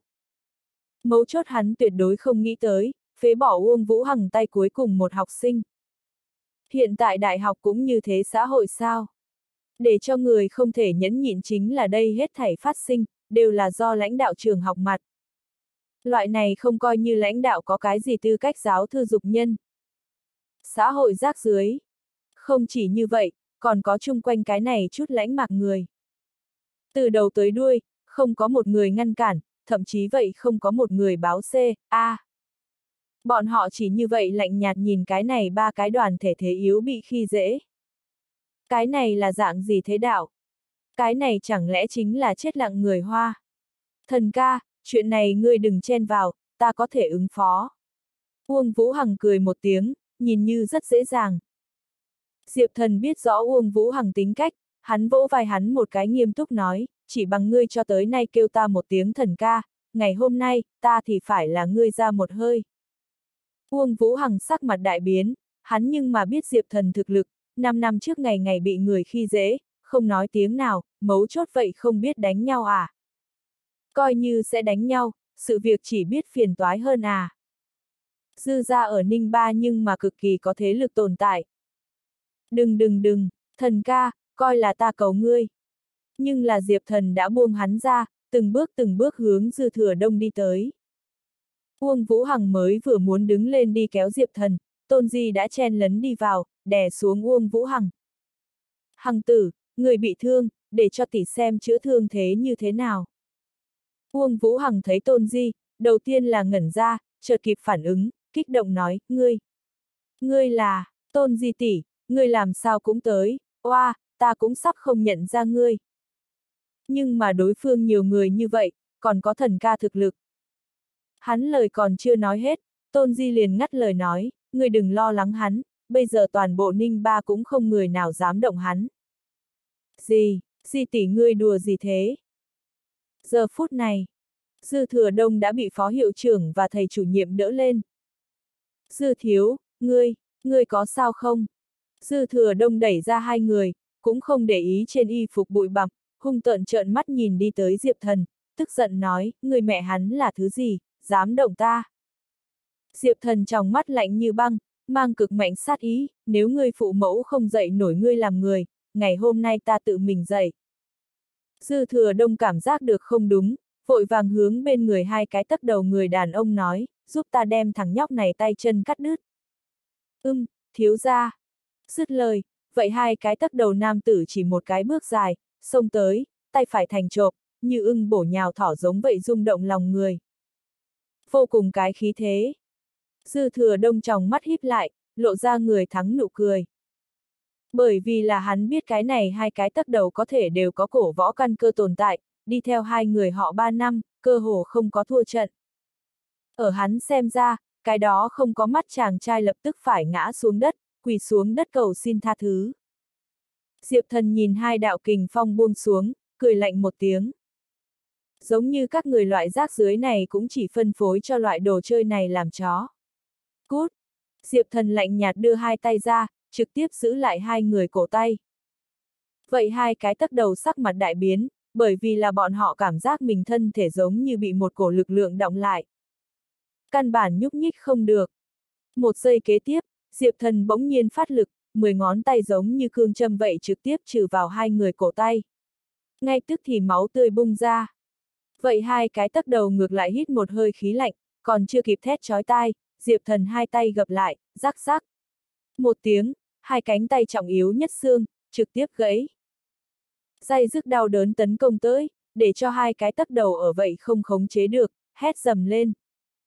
Nhưng là hết thảy các thứ này vẫn chưa kết thúc, Diệp Thần hai tay mang theo dậy một đạo kình khí, cánh tay bỗng nhiên co rút lại. Vậy hai cái tắc đầu bỗng nhiên va chạm. Cường đại lực lượng trực tiếp để cho hai người gương mặt máu thịt mơ hồ. Trong miệng lại là khạc ra một ngụm máu tươi. Cổ võ không phải để cho các người khi dễ người yếu. Bành, Diệp Thần đem hai người chợt quăng ra ngoài. Hai người hông dối rít đập về phía một viên cao lớn cây tùng. Cơ hồ vặn vẹo. Hai người có thể sẽ không chết, nhưng là từ nay về sau chính là phế nhân, lại cũng không có tư cách dùng võ. Từ Diệp Thần ra tay, đến hai người bị bùn nát như nhau ném ra, toàn bộ quá trình, chỉ dùng 5 giây thời gian. Ước chừng 5 giây à. Mấu chốt thủ đoạn cực kỳ tàn bạo và hung ác. Giờ khắc này, cả thế giới vô cùng yên tĩnh. Ngay cả hô hấp cũng không có. Những học sinh kia thậm chí có chút không phản ứng kịp. Bọn họ nhưng mà biết dư thừa đông bên người hai cái người đàn ông có nhiều đáng sợ. Đã từng một cái tay tung bay thái cực đạo xã và không thủ đạo xã à. Nhưng là đáng sợ như vậy tồn tại lại có thể ở người thanh niên kia trước mặt không chống nổi 5 giây. Còn bị đánh cho thành nửa chết nửa sống. Uông Vũ Hằng bối rối, đầu óc trống rỗng, cái này còn là hắn biết thần ca. Cái đó bị toàn bộ trường học gọi là phế vật thần ca.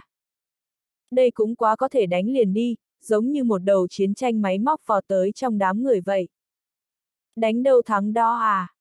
Hắn trong lòng chẳng biết tại sao giấy lên một đạo hỏa diễm. Huyết dịch sôi trào, hắn cũng muốn trở nên mạnh mẽ. Diệp thần ánh mắt lạnh như băng rơi vào dư thừa đông trên mình, từng bước từng bước đi tới. Dư thừa đông sắc mặt trắng bệch, ai biết trước mắt tên này như thế có thể đánh à? Mình một mực lấy là mạnh nhất hộ vệ lại có thể trực tiếp bị đánh cho tàn phế, thậm chí liền 5 giây cũng không có chống đỡ hạ. Thình lình đả kích, giống như là bị thương nặng ở hắn trên mình hung hăng nện xuống.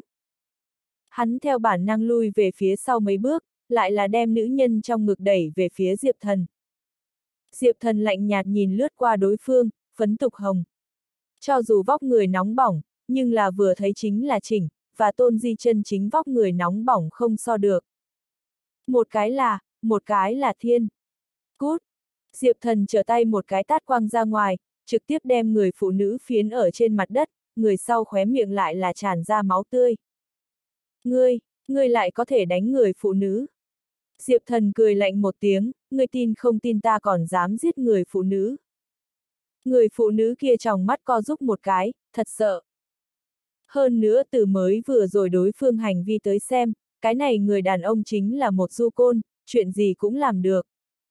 Ta chỉ hỏi ngươi một câu, bạn ta, rốt cuộc có hay không trêu đùa ngươi.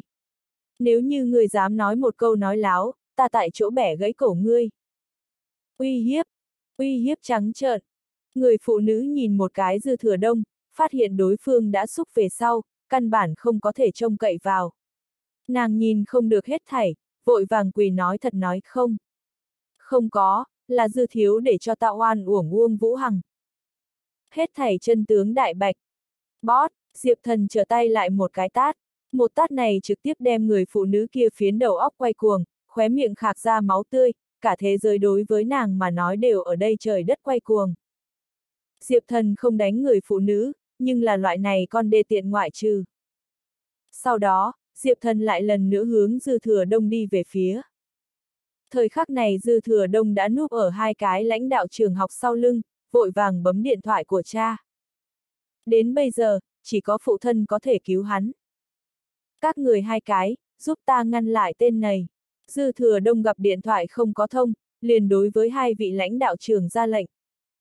Vậy sắc mặt hai người tái nhợt, trước mắt cái này tôn sát thần bọn họ nào dám cản à. Bất quá phó hiệu trưởng vẫn là nghiêm túc nói, người là ngành nào học sinh, người có biết hay không đánh người là phạm pháp, đến lúc đó cảnh sát. Lời còn chưa nói hết, Diệp thần tức giận một tiếng, quỳ xuống. Uy áp cường đại trực tiếp sợ vậy hai cái lãnh đạo trường trực tiếp quỳ xuống trên đất, toàn thân ướt đẫm. Chỉ bằng các người như vậy, còn lắp thêm làm lãnh đạo, còn lắp thêm giáo thư dục nhân. Chẳng qua là người có tiền chó. Phải phải phải. Hai người còn có thể nói gì, chỉ có thể gật đầu liên tục. Bọn họ cơ hồ ở bên bờ tan vỡ. Bọn họ vốn lấy là chỉ phải quỳ xuống tỏ thái độ, cái này người đàn ông thì sẽ không tìm bọn họ phiền toái, ai có thể nghĩ tới, đối phương không chút lưu tình nâng lên một cước, liền đá vào phó hiệu trưởng trên mình. Phó hiệu trưởng lộn một vòng, cả người liền nằm trên đất, ăn đầy đất đất. Một cước này là người thiếu trương di. Làm xong hết thảy các thứ này, Diệp Thần ánh mắt cuối cùng rơi vào dư thừa đông trên mình. Lạnh như băng, như tử thần vậy. Dư thừa đông sợ đặt mông ngồi trên mặt đất, nhưng là rất nhanh, điện thoại thông. Thừa đông, trễ như vậy gọi điện thoại cho ta làm gì? Bên đầu điện thoại kia truyền tới một hồi uy nghiêm thanh âm. Dư thừa đông giống như bắt một cái phao cứu mạng cuối cùng, vội vàng kích động gầm hét lên, ba. Có người muốn giết ta. Bên đầu điện thoại kia dư hưng bang ngẩn ra, vốn lấy vì mình nhi tử nói đùa, nhưng là nghe ngữ khí thật giống như lại có chút không đúng, nghiêm túc nói, rốt cuộc phát sinh cái gì?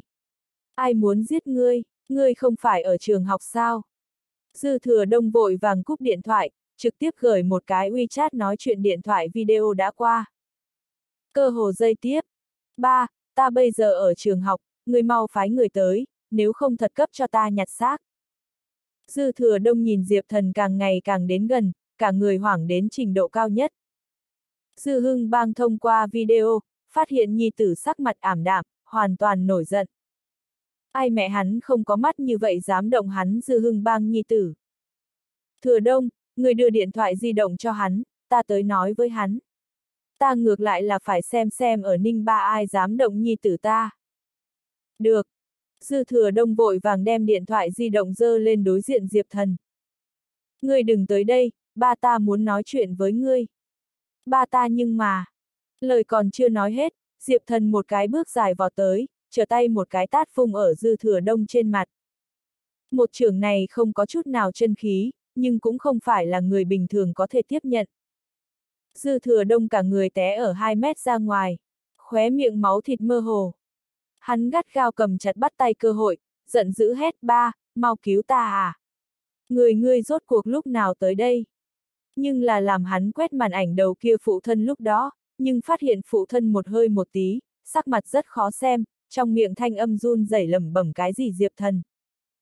Phải biết, Dư Hưng Bang tập đoàn Hưng Bang chính là một trong công khai phong sát tập đoàn thiên chính xí nghiệp, mấu chốt hắn sáng sớm hôm nay chứng kiến tập đoàn thiên chính toàn bộ khai trương quá trình à. Cả đời khó quên. Tập đoàn thiên chính đứng sau lưng thị ủy, đứng đà gia, đứng quân đội, mấu chốt còn đứng tỉnh chiết giang gia tộc cao cấp. Hắn dư ra chỉ bất quá có chút tiền, lấy cái gì và loại này cao cấp quyền thế đấu. Ba, người rốt cuộc đang làm gì vậy? Dư thừa đông hốt hoảng nói. Một giây kế tiếp, một tiếng kinh thiên gầm thét từ trong điện thoại di động truyền tới, dư thừa đông. Người mẹ hắn ở muốn chết sao? Làm sao chọc tập đoàn thiên chính vị kia? Người cho lão tử chết ở bên ngoài được. Rất nhanh, Dư Hưng Bang liền chú ý tới trong hình xuất hiện Diệp Thần bóng người, thay đổi mới vừa rồi hung ác thái độ, kích động nói, Giám đốc Diệp, ta là tập đoàn Hưng Bang. Lời còn chưa nói hết, Diệp Thần một cước rậm ở điện thoại di động trên, màn ảnh hắc sách. Dư thừa đông duy nhất dựa vào lại bị hủy như vậy. Mấu chốt hắn mới vừa mới phát hiện mình phụ thân lại đang lấy lòng trước mắt người đàn ông này. Thậm chí bởi vì là người đàn ông này, buông tha bảo bối của hắn nhi tử. Làm sao có thể? Còn không chờ hắn kịp phản ứng, Diệp thần thanh âm lạnh như băng vang lên, người rất thích cắt đứt người khác tay chân. Có lẽ ngươi nên thử một chút loại cảm thụ đó.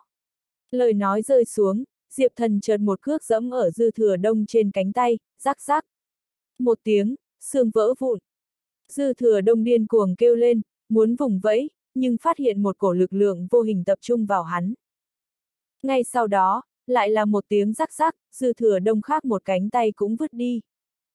Diệp thần thật ra thì cũng không thích hành hạ loại người này, lãng phí hắn thời gian mà thôi.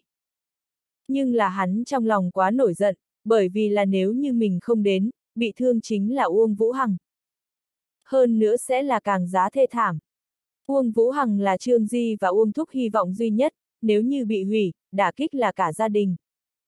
Toàn bộ nam tầng phòng ngủ hạ vang lên từng đạo kêu thảm thiết, bên cạnh hai vị lãnh đạo trường con người đều là kinh hoàng.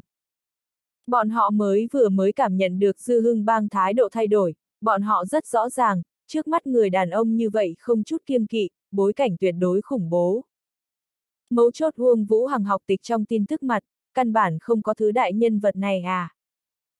Không chỉ bọn họ hai cái, lại nơi có vây xem học sinh cũng không khỏi ngược lại hít một hơi khí lạnh, vốn định dùng điện thoại di động lấy ra vỗ, nhưng là vừa nghĩ tới người đàn ông kia người thủ đoạn, bọn họ lại buông tha. Thậm chí có chút học sinh lặng lẽ rời đi. Chỗ này căn bản không phải người ngu à. Dư thừa đông đã hoàn toàn ngất đi, và một tên phế nhân không việc gì khác biệt. Ngay tại lúc này còi cảnh sát nổi lên, không lâu lắm, một đám cảnh sát liền vọt vào. Diệp thần không có chút nào để ý tới, hắn gọi điện thoại cho Bách Lý Băng, liền đi tới Uông Vũ Hằng trước mặt. Uông Vũ Hằng vẫn là có chút không phản ứng kịp, thần ca, ngươi. Diệp thần cười một tiếng, đem Uông Vũ Hằng gãy mất cánh tay giơ lên, sẽ có điểm đau, ngươi nhịn một chút. Một giây kế tiếp, Diệp thần hơi một chuyển, trực tiếp đem xương chật khớp uốn nắn, đồng thời một cổ chân khí hướng Uông Vũ Hằng cánh tay tràn vào. Ấm áp cảm giác bao quanh bị thương vị trí, đau đớn giảm bớt không thiếu. Uông Vũ Hằng thậm chí phát hiện tay hắn có chút chi giác. Đến lúc đó ta lắp thêm ít thuốc cho ngươi, ăn thêm mấy ngày cũng không sai biệt lắm, nếu như ngươi không yên tâm, cũng có thể đi bệnh viện chụp tấm hình. Còn như tên kia và trường học, ta sẽ chào hỏi, sau này, ngươi ở chỗ này đi học, không ai dám động ngươi. Diệp thần nói lộ ra không thể nghi ngờ, lại là rõ ràng rơi vào vậy hai cái quỷ lãnh đạo trường trong tai. Như kim châm vậy. Năm năm trước, Uông Vũ Hằng dùng hiền lành bảo vệ hắn. Năm năm sau đó, hắn sẽ dùng mình thực lực hồi báo hắn. Cùng Uông Vũ Hằng thương thế tốt lắm, nếu như có bước lên tu luyện một đường dự định, Diệp Thần cũng sẽ cho hắn một ít tâm pháp và võ tu luyện. Dĩ nhiên, cái này hết thảy đều phải nhìn đối phương lựa chọn. Ninh Ba Trần ra biệt thự, đèn đuốc sáng choang. Trần Bảo Quốc nhìn trên tay Diệp Thần tất cả tư liệu, trao mày. Tên này lại là Diệp Thiên Chính Nhi Tử. Diệp gia chẳng qua là Ninh Ba gia tộc nhỏ, làm sao biết ra đời thứ nhân vật như vậy. Một bên minh lão vậy mở miệng nói, lão gia, Diệp gia đã bị diệt, không có gì tốt sợ hãi, bây giờ phiền toái duy nhất chính là tập đoàn thiên chính thế lực sau lưng, đà gia, thị ủy, quân khu chúng ta đều có thể bỏ mặc, nhưng là Chu gia, thái độ rất rõ ràng, chính là muốn đảm bảo người này. Nếu như chúng ta chém chết người này, tất nhiên sẽ có phiền toái, cục quốc an bên kia cũng rất có thể nhìn chằm chằm cái thằng nhóc này. Trần Bảo Quốc con người hiện lên lạnh, hừ, coi như Chu gia và cục quốc an thì như thế nào? Người này giết ta Trần gia tộc người, ta trả thù là lẽ bất di bất dịch. Không chỉ như vậy, thằng nhóc này không phải để ý bên người hai nữ nhân kia sao, ta tự tay bắt tới, ngay trước hắn mặt chém chết. Để cho hắn cảm nhận được tuyệt vọng. Minh lão nhìn lão gia tử đã bị tức giận làm đầu óc mê muội, con người một chuyển, nghĩ tới điều gì, vội vàng nhắc nhở, lão gia, ta đây là có cái biện pháp, không chỉ có thể ngay trước mặt của mọi người chu diệt người này, cây ta trần gia hùng phong, còn có thể để cho quốc an và chu gia không thể làm gì. Biện pháp gì? Trần Bảo Quốc nói. Nếu Diệp thần thằng nhóc kia là cổ võ giả, người không ngại dùng một phong chiến thư sinh tử buộc hắn lên đài võ đạo. Trên đài võ đạo, sinh tử có số. Không người nào có thể chờ. Lấy lão ra thực lực tất nhiên dễ như trở bàn tay đem chu diệt. Trần Bảo Quốc ánh mắt sáng lên, nhưng là nghĩ tới điều gì, lại nói, ta thực lực đủ để nghiền ép người này, hắn nếu như có điểm đầu óc chắc chắn sẽ không tiếp nhận đài võ đạo. Minh lão âm u cười một tiếng, Diệp thần có chấp nhận hay không do không được hắn, lão ra như dùng hắn phụ nữ bên người uy hiếp, hắn dám không đáp ứng. Trần Bảo Quốc trong mắt híp lại, mặc dù loại này hành vi có chút hèn hạ, nhưng là ở cừu hận của mình trước mặt, không tính là cái gì. Ngay tại lúc này, một đạo mang uy nghiêm thanh âm đột nhiên truyền tới, đối phó Diệp Thần, tính luôn ta một cái thế nào. Nghe được cái này thanh âm, Trần Bảo Quốc sắc mặt hơi đổi một chút. Hắn bước vào tông sư cảnh, lại có thể đến bây giờ cũng không có phát hiện có người. Làm sao có thể? Mấy giây sau đó, cửa trực tiếp bị đẩy ra, một cái ăn mặc trường bào trung niên nam tử xuất hiện ở Trần Bảo Quốc và Minh Lão trong tầm mắt. Thấy người đàn ông này, hai người con ngươi đồng loạt co giúp một cái. Bởi vì là đối phương là ninh ba lánh đời võ đạo gia tộc tưởng gia. Tưởng nguyên lễ. Mấu chốt tưởng nguyên lễ không mời mà tới là tại sao? Trần Bảo Quốc vậy không có chút nào tức giận, bàn về thực lực, tưởng nguyên lễ không nhất định so hắn yếu, hắn chắp tay nói, tưởng tông sư, là gió nào thổi ngươi tới. Tưởng nguyên lễ thẳng đi tới trên ghế salon, trường bào hơi nhấc lên một chút, liền ngồi ở Trần Bảo Quốc đối diện, hắn con ngươi nhìn lướt qua trên bàn diệp thần tấm ảnh. Một giây kế tiếp, ngón tay đè ở tấm ảnh trên, lực đạo cực kỳ khủng bố, lại xuyên qua tấm ảnh, lại là đem cẩm thạch bàn gắng gượng đâm một cái hang. Sau đó, hắn mới nhàn nhạt nói, vì người này tới. Tưởng nguyên lễ mấy ngày nay cơ hồ vận dụng toàn bộ lực lượng, mặc dù hết thảy quản chế đều bị ác ý lau đi, nhưng là lưới trời tuy thưa nhưng khó lọt, hắn vẫn là cha được chém chết hắn nhi tử hung thủ sau màn, chính là Diệp Thần. Không chỉ như vậy, đang điều tra thời điểm, hắn lại là ngoài ý muốn phát hiện một cái khác thế lực vậy đang điều tra tên tiểu xúc sinh này. Bất ngờ chính là Trần Gia mới vừa trở về tông sư Trần Bảo Quốc. Một phen rõ ràng, hắn phát hiện Trần Bảo Quốc so hắn thảm hại hơn, không chỉ có chết nhi tử, thậm chí liền cháu trai cũng đã chết. Diệp thần đứng sau lưng thế lực rắc rối phức tạp, hắn tưởng ra ngay cả là võ đạo gia tộc, vẫn là phải kiêng kỵ Chu gia và cục quốc an mấy phần. Mà hắn lần này tới, chính là vì tìm đồng minh. Trần Bảo Quốc nhìn một cái cẩm thạch bàn dấu vết, con người lộ ra một tia tinh quang, thử dò xét nói, tưởng tông sư chẳng lẽ và người này cũng có thù. Tưởng nguyên lễ hử lạnh một tiếng, thù chết con không đội trời chung. Nghe được câu này, Trần Bảo Quốc ngẩn ra, chợt vỗ lên bàn một cái, được.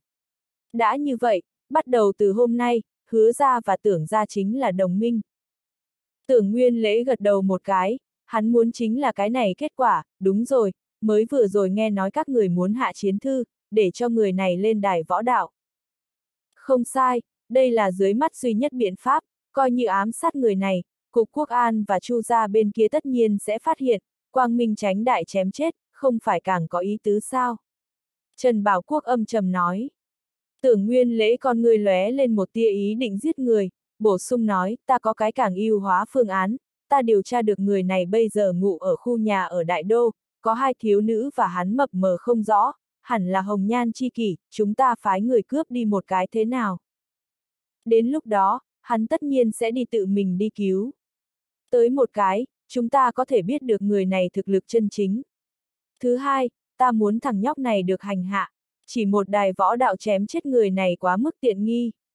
Ta nuốt không trôi khẩu khí này, ta tưởng ra nguyện ý phái ra ba vị cao cấp cường giả. Trần Bảo Quốc trầm tư mấy giây, nhìn một cái sau lưng những đệ tử kia, hạ quyết tâm nói, được. Ta nguyện ý phái ra ta bốn vị mạnh nhất đệ tử. Ta ngược lại là phải xem xem, thằng nhóc này lấy cái gì đấu với chúng ta. Diệp Thần và Tôn Di từ Giang Bắc lớn học được đã trễ lên 12 giờ. Mặc dù Diệp Thần trị liệu Uông Vũ Hằng tay gãy, sẽ không có vấn đề quá lớn, nhưng là Trương Di vẫn là có chút bận tâm, liền đêm và Uông Thúc mang Uông Vũ Hằng đi ninh ba chật đả khoa bệnh viện. Diệp Thần cũng hiểu hai vợ chồng, dẫu sao thương cân động cốt 100 ngày, hắn nói như thế dễ dàng, hai vợ chồng làm sao biết tin. Gãy một cái tay cũng không phải là chuyện nhỏ, nếu như không chỉ tốt, có thể cả đời đều phải phá hủy. Còn như dư thừa đông và lãnh đạo trường các người, trực tiếp bị cảnh sát mang đi. Có bách lý băng quan hệ, Ninh Ba bót cảnh sát thậm chí liền để cho Diệp Thần làm biên bản dự định cũng không có. Cái này hoặc giả chính là cái gọi là quan hệ xã hội. Bởi vì là Giang Bắc Đại học vị trí tương đối trách, Tôn Di trên nét đánh nửa ngày xe cũng không có người tiếp đơn, nàng có chút hối hận, sớm biết liền mở giáp xác trùng đi ra. Nếu như không phải là sự việc quá mau, nàng vậy chưa đến nỗi lúc xuống lầu chìa khóa xe đều không mang. Được rồi, chúng ta đi một đoạn đường đi, có lẽ trước mặt thì có xe. Diệp thần nói. Được, tôn di gật đầu một cái. Dạng sáng gió hơi lớn, Diệp thần liền đem cởi áo khoác xuống cho tôn di phủ thêm. Tôn di thân thể run lên, nhìn một cái Diệp thần, không nói tiếng nào. Không biết qua bao lâu, nàng đột nhiên mở miệng nói, Diệp thần, năm năm trôi qua, tại sao ta cảm giác bây giờ ngươi khỏe xa lạ? Giống như biến thành một người khác như nhau, người tính cách và thủ đoạn ta có chút thời điểm căn bản không hiểu được, giống như mới vừa rồi đem cửa sắt bẻ gãy, cái này quá không thể tưởng tượng nổi. Diệp thần duỗi người, nhàn nhạt nói, ta nhiều năm như vậy, rõ ràng liền một cái đạo lý. Người, chỉ có hai loại hoạt pháp, hoặc là bị quy tắc thay đổi, hoặc là tự tay thay đổi quy tắc. Ta muốn trở thành là người sau. Tôn Di khẽ đọc liền câu nói kia, vừa định hỏi lại cái gì, một chiếc xe taxi vừa vặn tới. Sư phụ, nơi này, dừng một chút, Tôn Di vẫy vẫy tay. Rất nhanh, xe taxi liền dừng ở trước mặt hai người. Audio điện tử võ tấn bền. Hết tập 6